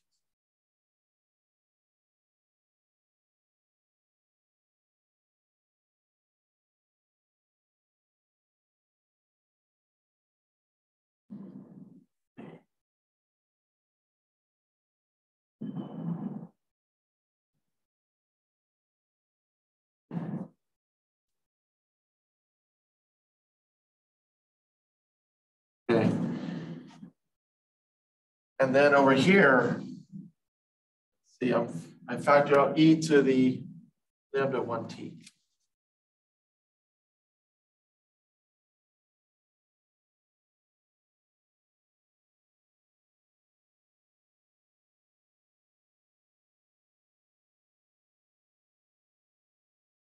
Okay.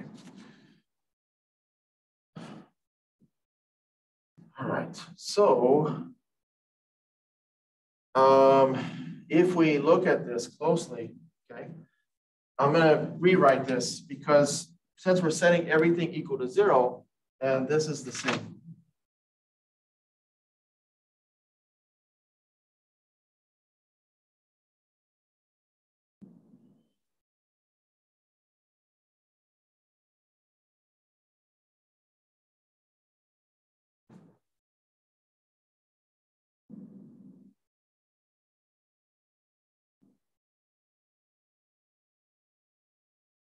By the way, that's the that's a zero vector there. So I didn't put the arrow because it's understood to be that. All right. So there we go. So I basically just divide everything by, um, by negative here. Okay. So now, in order for this equation, in order for this equation to be equal to zero, right? This, what we can do is we can look at this part. This part, okay? We can say this is going to be zero, and this will be zero, okay? And remember, e to the lambda t, right, um, is never going to be zero, okay? Right. Okay, so if so by making this, by forcing this to be zero, this to be zero, then the whole thing will be zero. And that's going to be the key on how we solve for P and um, how we solve for P and uh, K here. All right. So let's go back over here.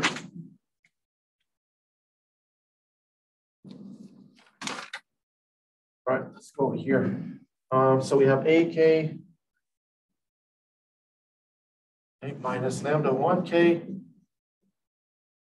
equals to zero. Okay. So that implies basically this. We have A minus lambda 1 times I times K. And again, K, um, I didn't put the arrow here, okay, because it is understood that K and P are vectors. Okay. All right, and then, so we have this, okay? And then, um, so basically K, so you can see that K is an, um, is an eigenvector of, of, of A, okay?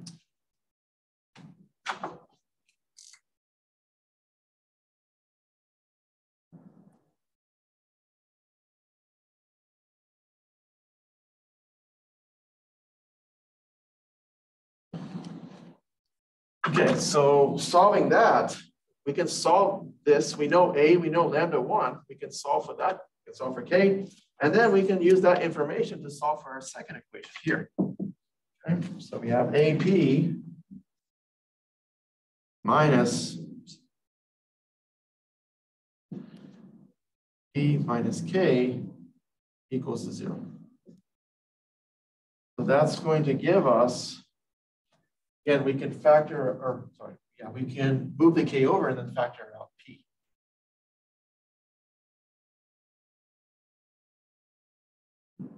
Let's see, I'm calling that lambda. Let's see, yeah, yeah lambda one. Okay. Uh, oh, I think I forgot my lambda here. Hold on. Oh, I forgot lambda from here, sorry.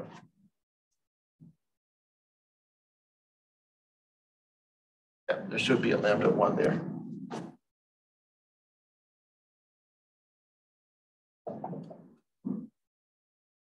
All good. Okay. So there's a lambda, so that's coming from this term. Okay. All right. So then we have a minus lambda one times i times p equals to k. So uh, basically, we have a system here. It's interesting. We have a system within a system. Okay. So we solve for k. Once we solve for k, then we can solve for p.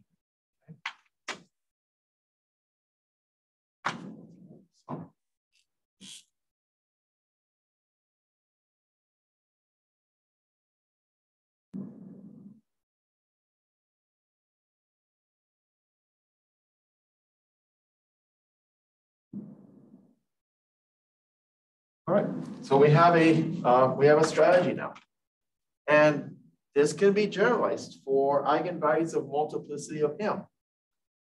Okay, so let's go back. Okay, let's go back to the example that we were working with and implement this.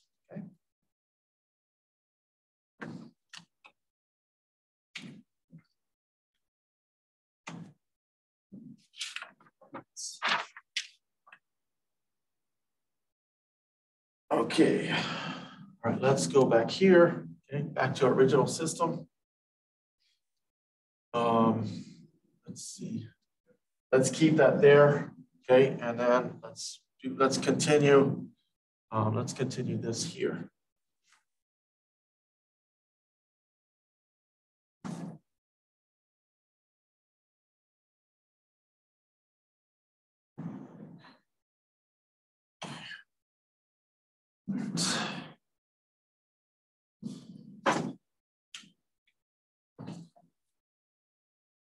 So going back to our original problem.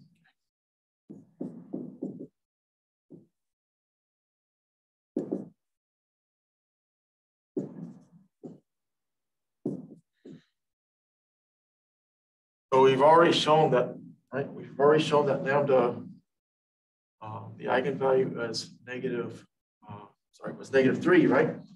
Okay. That was, okay, so that's negative three. That was negative three that we got earlier.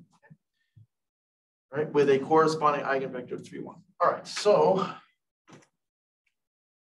so now we got to implement this part to find the other part of the solution, okay? All right, so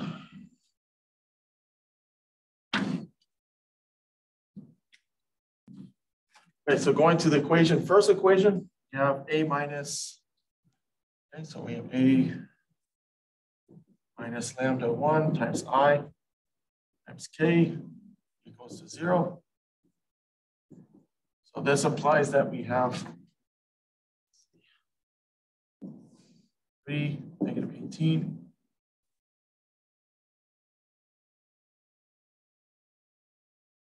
Write this, let's go back here.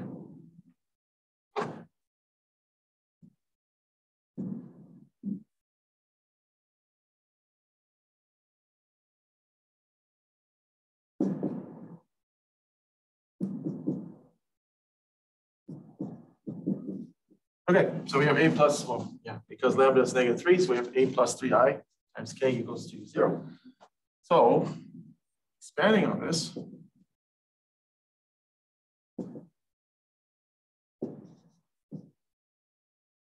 okay, let's, this is going to be, uh, Yeah, I'm calling this, am I calling this P or K? Oh, okay. Um, yeah, we already, okay, so yeah, so we kind of already did this part. That's right. Um, so K turns out to be, uh, we already solved this actually. So this was, um, so we had K was three, one. So now we have to do, so we already did this. Okay, so, all right, so let's go back here. So we had from this, okay, uh, we had x1, right, equal to c1 times 3, 1 times e to the minus 3t. Okay, so we've already done, we basically already took care of the first one. Um, that was, obviously it's here, okay? Now we can use this to figure out what, uh, what k is. Okay. All right. All right, sorry, to figure out what is, I'm sorry, not k, but figure out what p is, okay? So now we solve for P.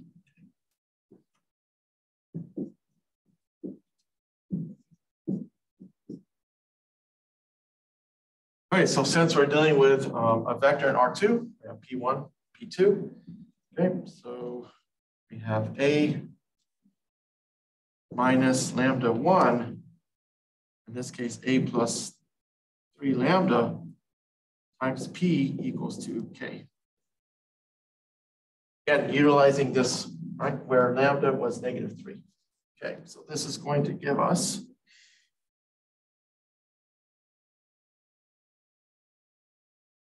three minus 18. We have two, negative nine.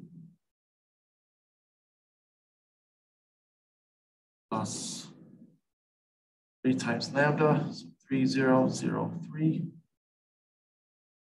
Right, so lambda was what? Um, see, three times lambda.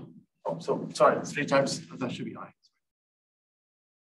Okay, so that's 3003.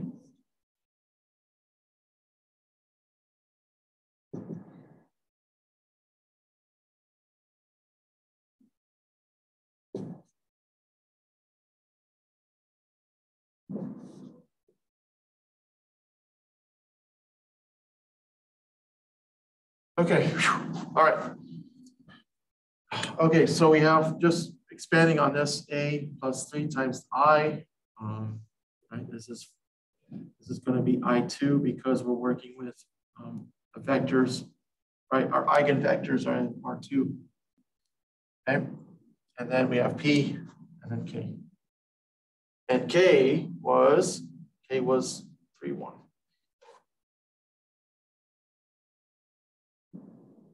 All right. Okay, so we have, um, so from here, okay, we're going to get uh, 6 minus 18 and 2 and 6 minus 6. All right.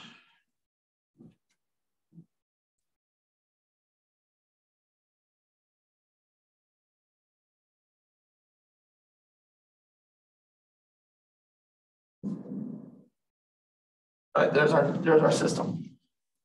Okay.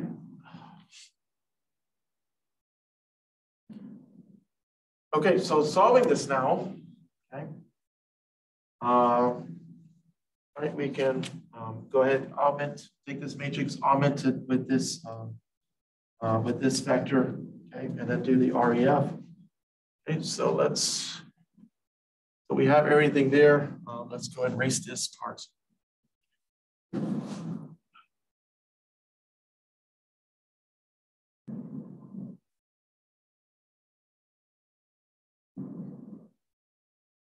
Okay. All right, so we have six, let's see, six minus 18.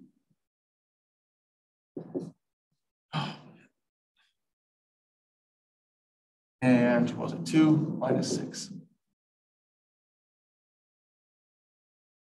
We can augment the uh, vector three one out there. Doing the, going through and doing the REF. Okay. We end up getting one, negative three, zero, zero, and then one half and zero. So not surprisingly, we get a row of zeros here. Okay. All right. Um, let's see. So again, um, we have a free variable for y for uh, for y.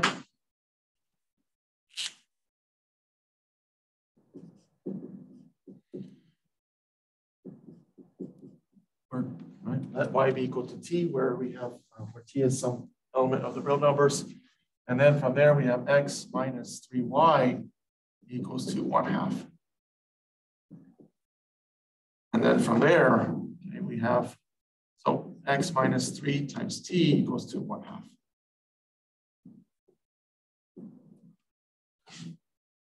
All right, so that means x is going to be equal to 3t plus 1 half. All right, so our solution vector going to be 3t plus 1 half and t. So putting this into parametric form, okay, we're going to get 3, 1 plus 1 half and 0. Since this only depends, since there's no, um, there's no value without t. Okay, So for simplicity, um, right, we can just let um, t be zero, okay?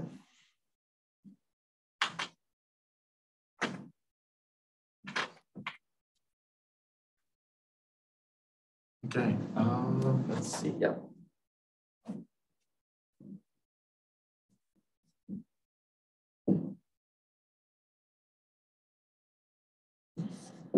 So this works right? By letting t equal zero, we end up with uh, we'll end up with this one. Okay. All right, so that will that's fine. Okay, we don't you know that'll work. Okay. Um, and so therefore we get right uh, p1 is equal to one half, and p2 is equal to zero.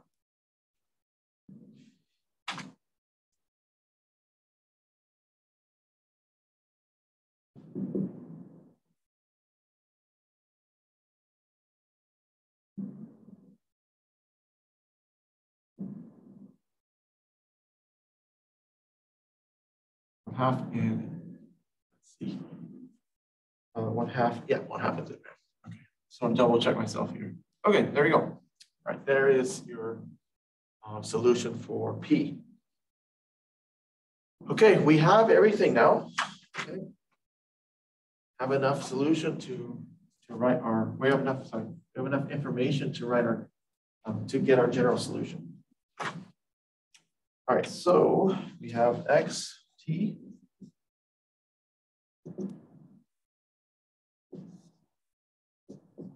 So the eigenvector 3, 1, right, that corresponded to lambda equals to negative 3.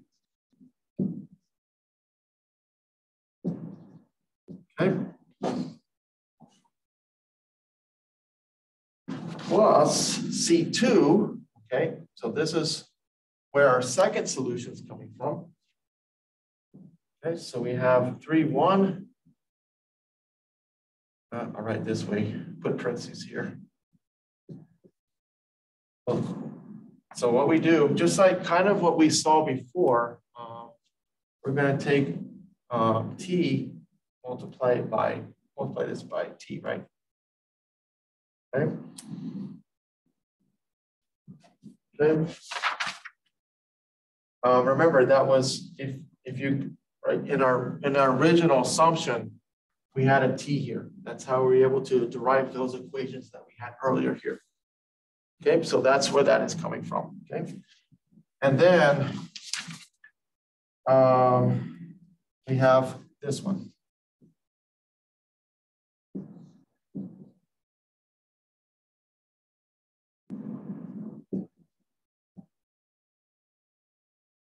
All right, there's this. And again, to refresh you on that, okay. I'll write those equations here. We had, remember that form we had for the second solution, we had this form.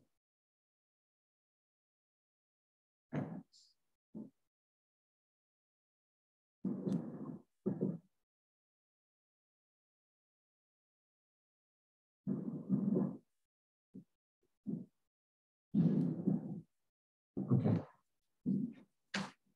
All right, so that this right, is basically coming from here. Um, and then this one is coming from when we first um, when we first solved for the um, when we first uh, started off with the problem. Okay, so okay, we have we have both our solutions. Okay, so this being the first, right? This is our first solution here. Okay, and this is our second form. Okay. All right, and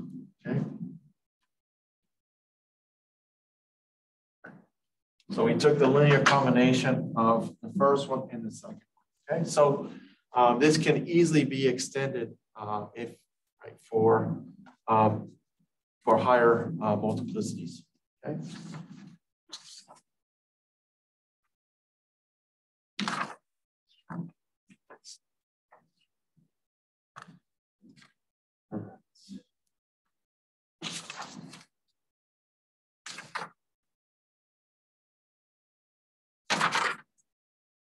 All right, um, let's see. So let's take a look at that. Um, let's take a look at a system that has uh, that has an eigenvalue with multiplicity of three. And so we can I can show you how to extend this. Okay.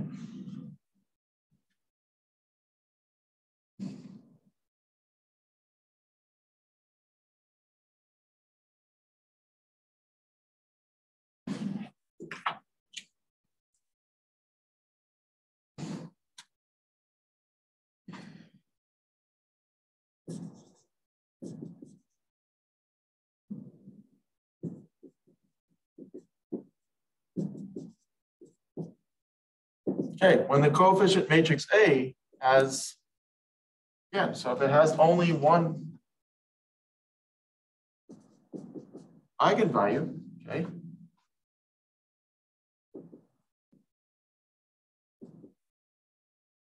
sorry, only one eigenvector associated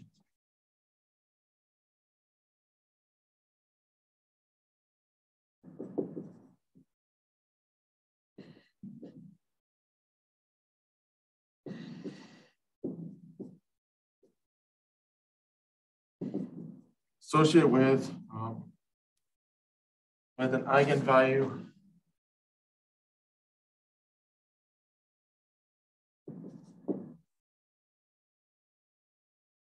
lambda one with of multiplicity of three.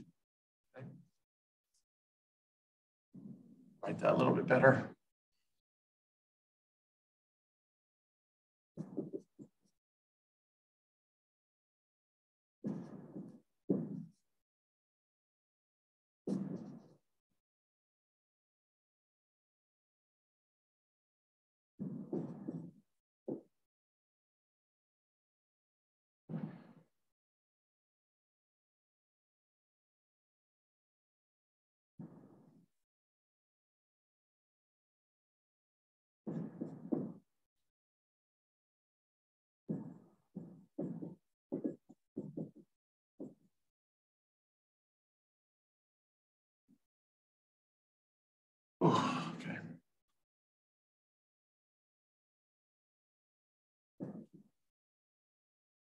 Okay, we can find a third solution.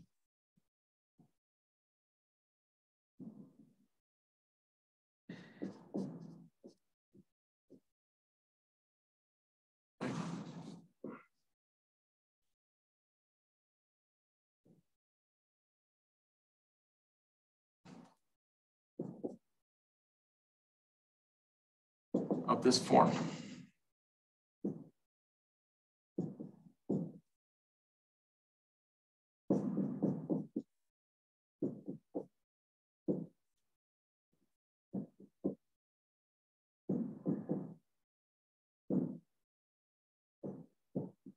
Okay, so that is, yep, so it is possible, okay, and we can extend this actually for higher, for higher multiplicities.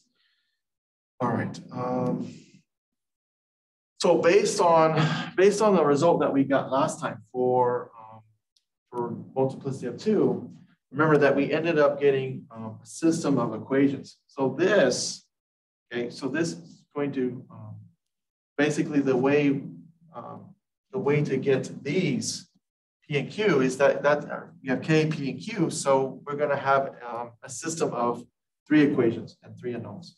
Okay. All right, so let's take a look at that. Okay, so again, we can actually go through and rederive these, but it's not necessary. We can just extend on the previous idea. Okay, so we end up getting a system.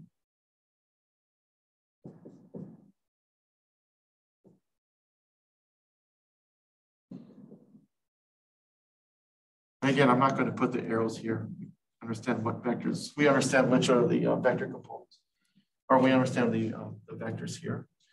Um, so we have this system, okay, and then we have A minus lambda I, or sorry, lambda one times P equals to K. So this is what we had last time, okay? Now we, now we have a third equation. We're gonna let this be Q. equals to P. Okay, so this time now, right? We go again, the goal is to figure out K, P, and Q. So get K, solve for K from here. Once we solve for K, solve for P. And once we have P, we can solve for Q. Okay, so let's look at an example of this.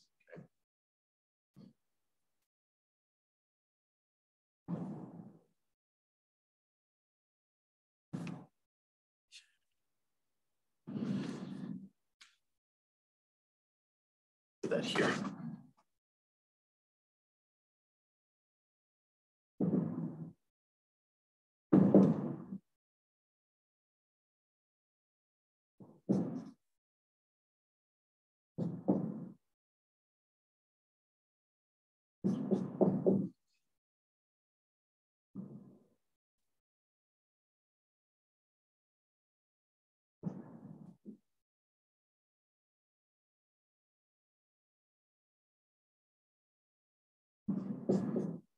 All right, suppose we want to solve this, okay?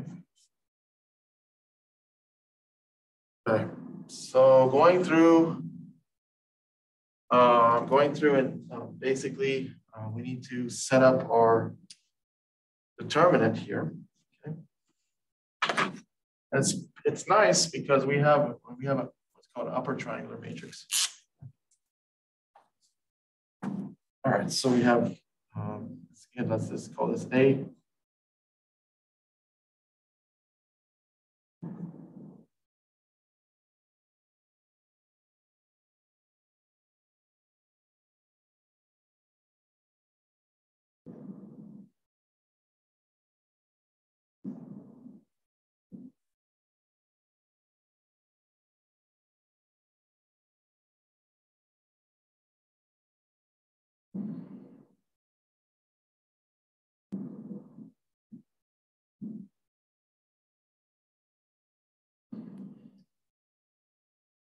so we need to figure out the null space of this.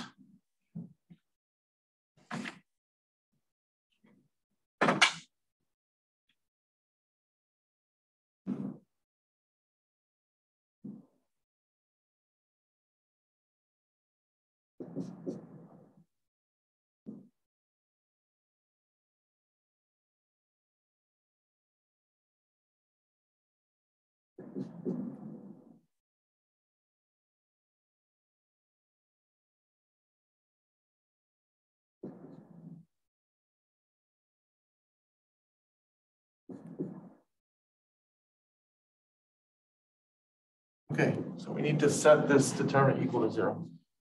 Um, so there is a theorem um, in linear algebra that says that um, if you have a if you have a um, triangular system like this or a triangular matrix, the determinant is just equal to the product of the uh, entries on the, along the main diagonal.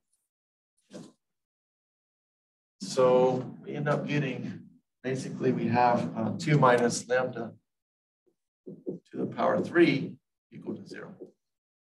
So therefore, lambda is equal to 3. Okay. Oh, sorry, equal to 2 with multiplicity of 3.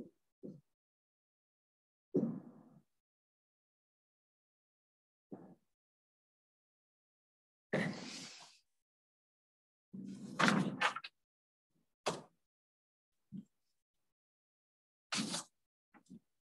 so first thing, right, we gotta solve for,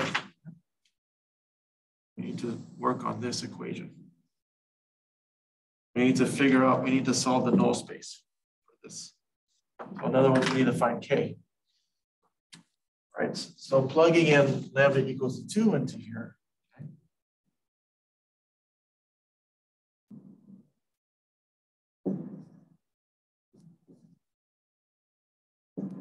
Okay, um, let's see.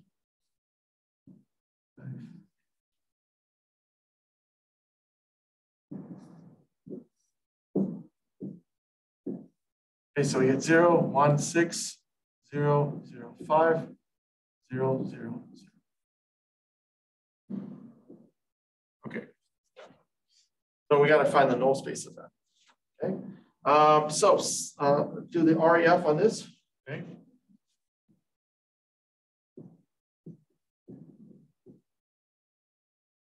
Okay, doing the REF, we get 0, 1, 0, 0, 0, 1, and then 0, 0, 0. Okay. So we have one free variable, namely in, um, right, namely for, um, for Z, okay?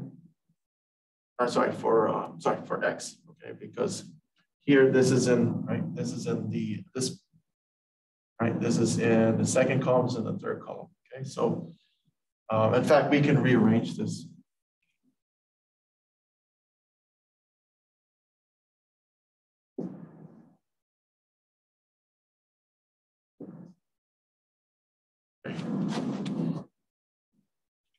All right. So we can see now that x is um, x is going to be a free variable here. Okay, so we're going to let x be equal to t. Where t is some element, some real element. And because of these, because of this, um, y, y and z are going to be zero.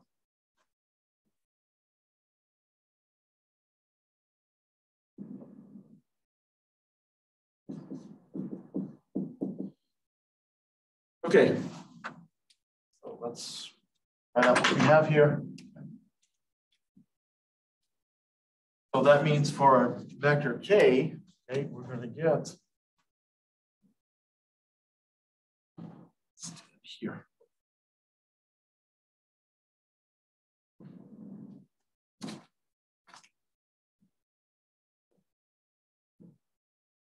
So we have, let's see, t, zero zero.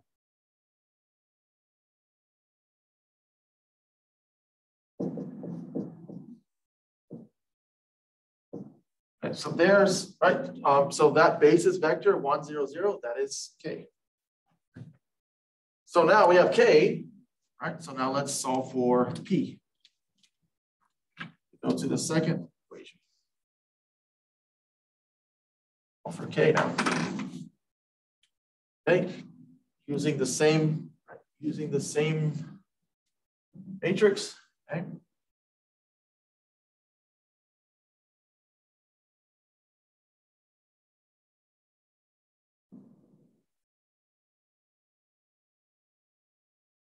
we have P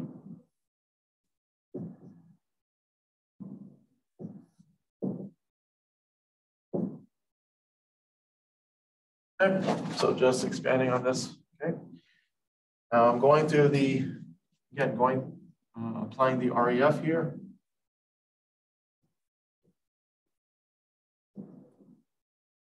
Let's see, we end up getting zero, one, zero, zero, zero, one. And then we have our row of zeros here. Okay. All right, so let's see. Uh, again, this is the same as this.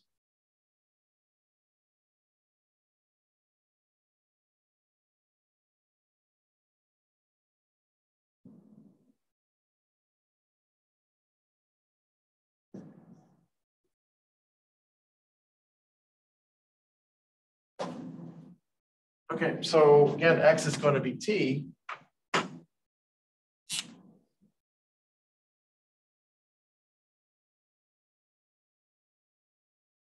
Where T is some element of the real numbers and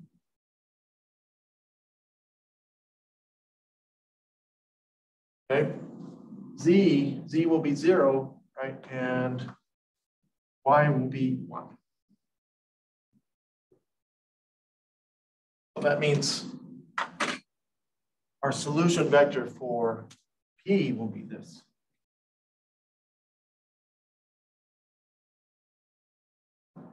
We have T, and then Y is one and zero.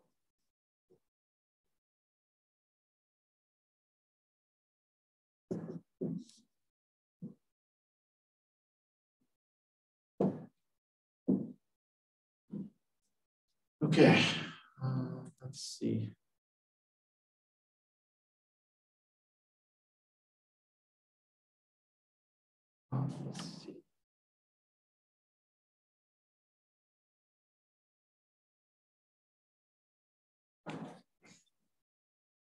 All right, so um, just like we look, just like um, the previous previous example, we can let t equal zero and just utilize this vector. Okay.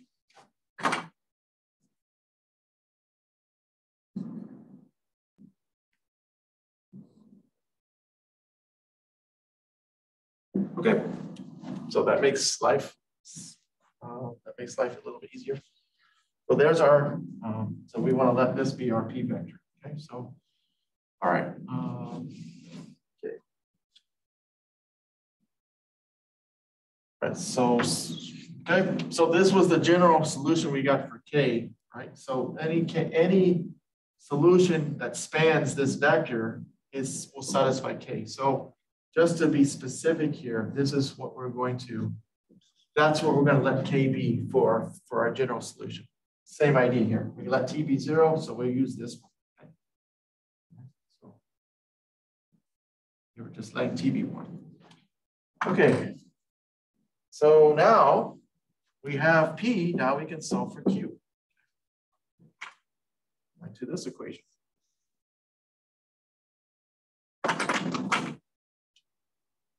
Using the same matrix that we have.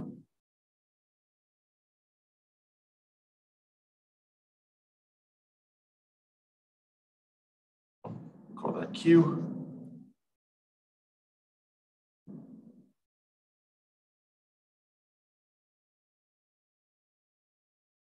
And that's, we're setting that equal to P. Zero, one, zero. Okay. All right, so now, again, doing the REF on this.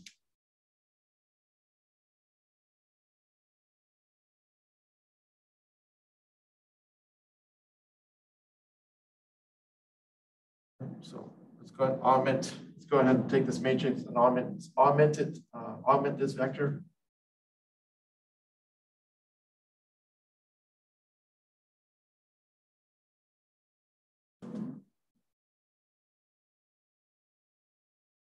So do that here.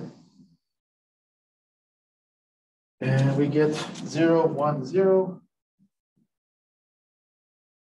zero, zero, one. And then last, we have a row of zeros here.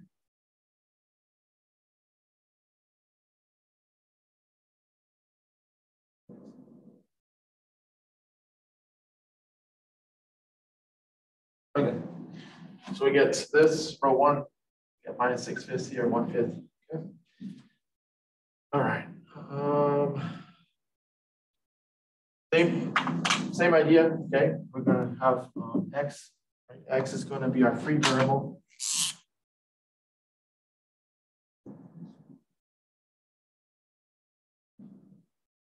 And looks like here y will be six, sorry, minus six fifths.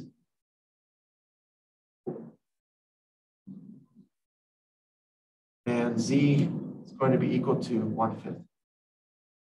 Okay. All right, so then, okay, so for our, for our vector q,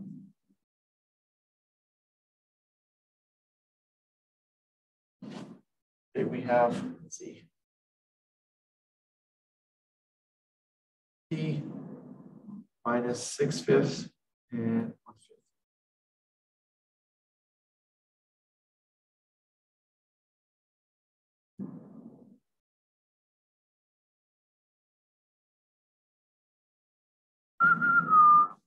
Okay. All right, and then that can be um, Again, uh, we can rewrite this in parametric form. We get one minus six fifths, one fifth. Oh, sorry. So you get one, zero, zero, plus zero, minus six fifths, and one fifth. Okay, and then again, we can let t be zero to extract that last um, to extract this or to use this as Q.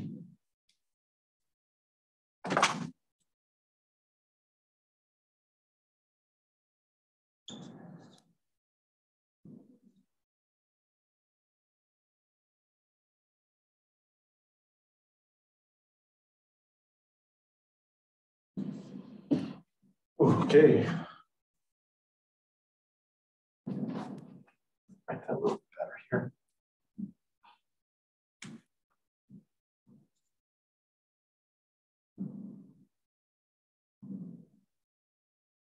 Okay, let's do that here.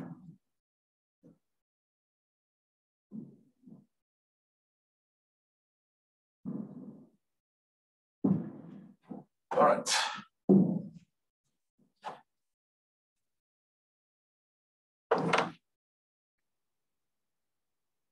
That's a lot of work, okay, but we got what we need. So now we can summarize, right? We can write, take all this information and write out our general solution for, um, for this system.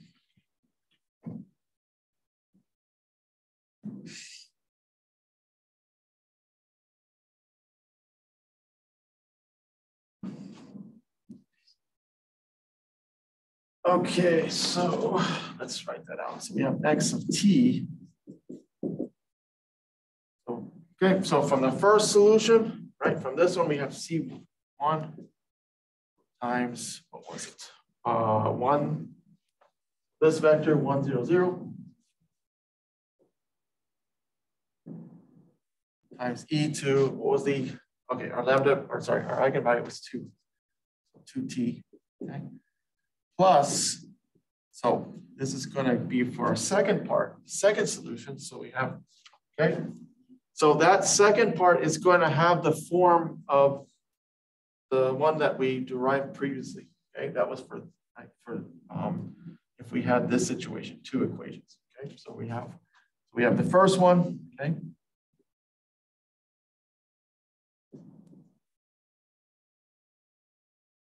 That's t times e to the 2t plus the, okay, the second form, okay? So going back, so you may have to review this. Yeah. So we had zero, one, zero there. Times e to the 3t.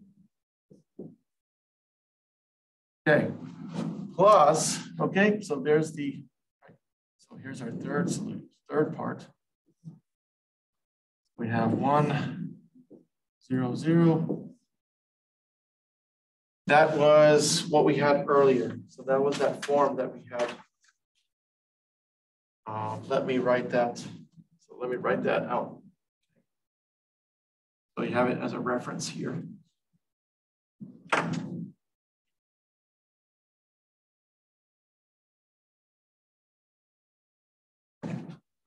So remember that for um, for that form, for the third part, for the third solution,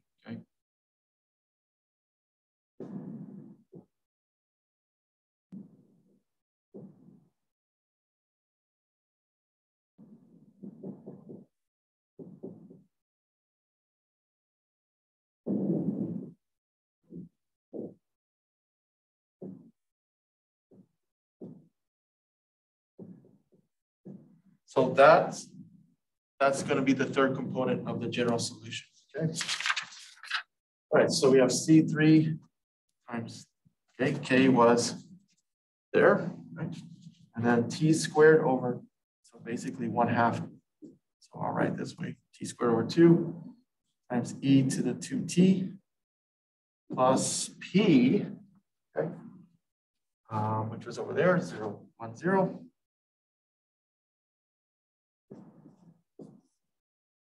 Times t e to the 2t, okay, plus q.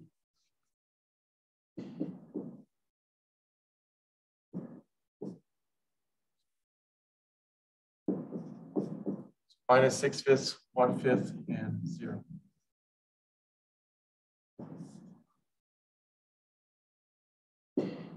Okay, let's see. Whew. All right make sure I got everything there and that looks good. Got my T there, yep. So it's just, again, so this is just an extension of the previous idea that we talked about. All right, where you have, all right, so you have your, right, this is the first part. Would be the second solution and then your third solution. So again, we take the idea is we take the linear combination of those and that forms your general, your overall general solution, your fundamental. So, so each of these, right, is your, basically your forms a fundamental set. Okay, that's why go back here. That's why we're only interested in the simplest form. Like right here, we let T be one. Here we let T be zero, okay? And then same thing with this one, okay? So you could actually, technically, you could choose any vector from right? You can choose any vector from each of these and it will still work as a solution. But, you know, we try to keep things as simple as possible because these things can get really complicated. All right, so that's basically how we can solve a, um, a you know, a um, homogeneous uh, linear system of uh, differential equations. Okay. Um, there is, so there is, um, of course, we, there is um, the possibility where you're, um, you have complex eigenvalues and complex eigenvectors that gets even more, that gets even more difficult. Um, and that will, um, that will be done in a, in a separate video, okay? So I think, yeah, this is a good stopping point. Um, and then I'll, so I'll definitely stop here, okay? So take care and continue, you know, continue your good work.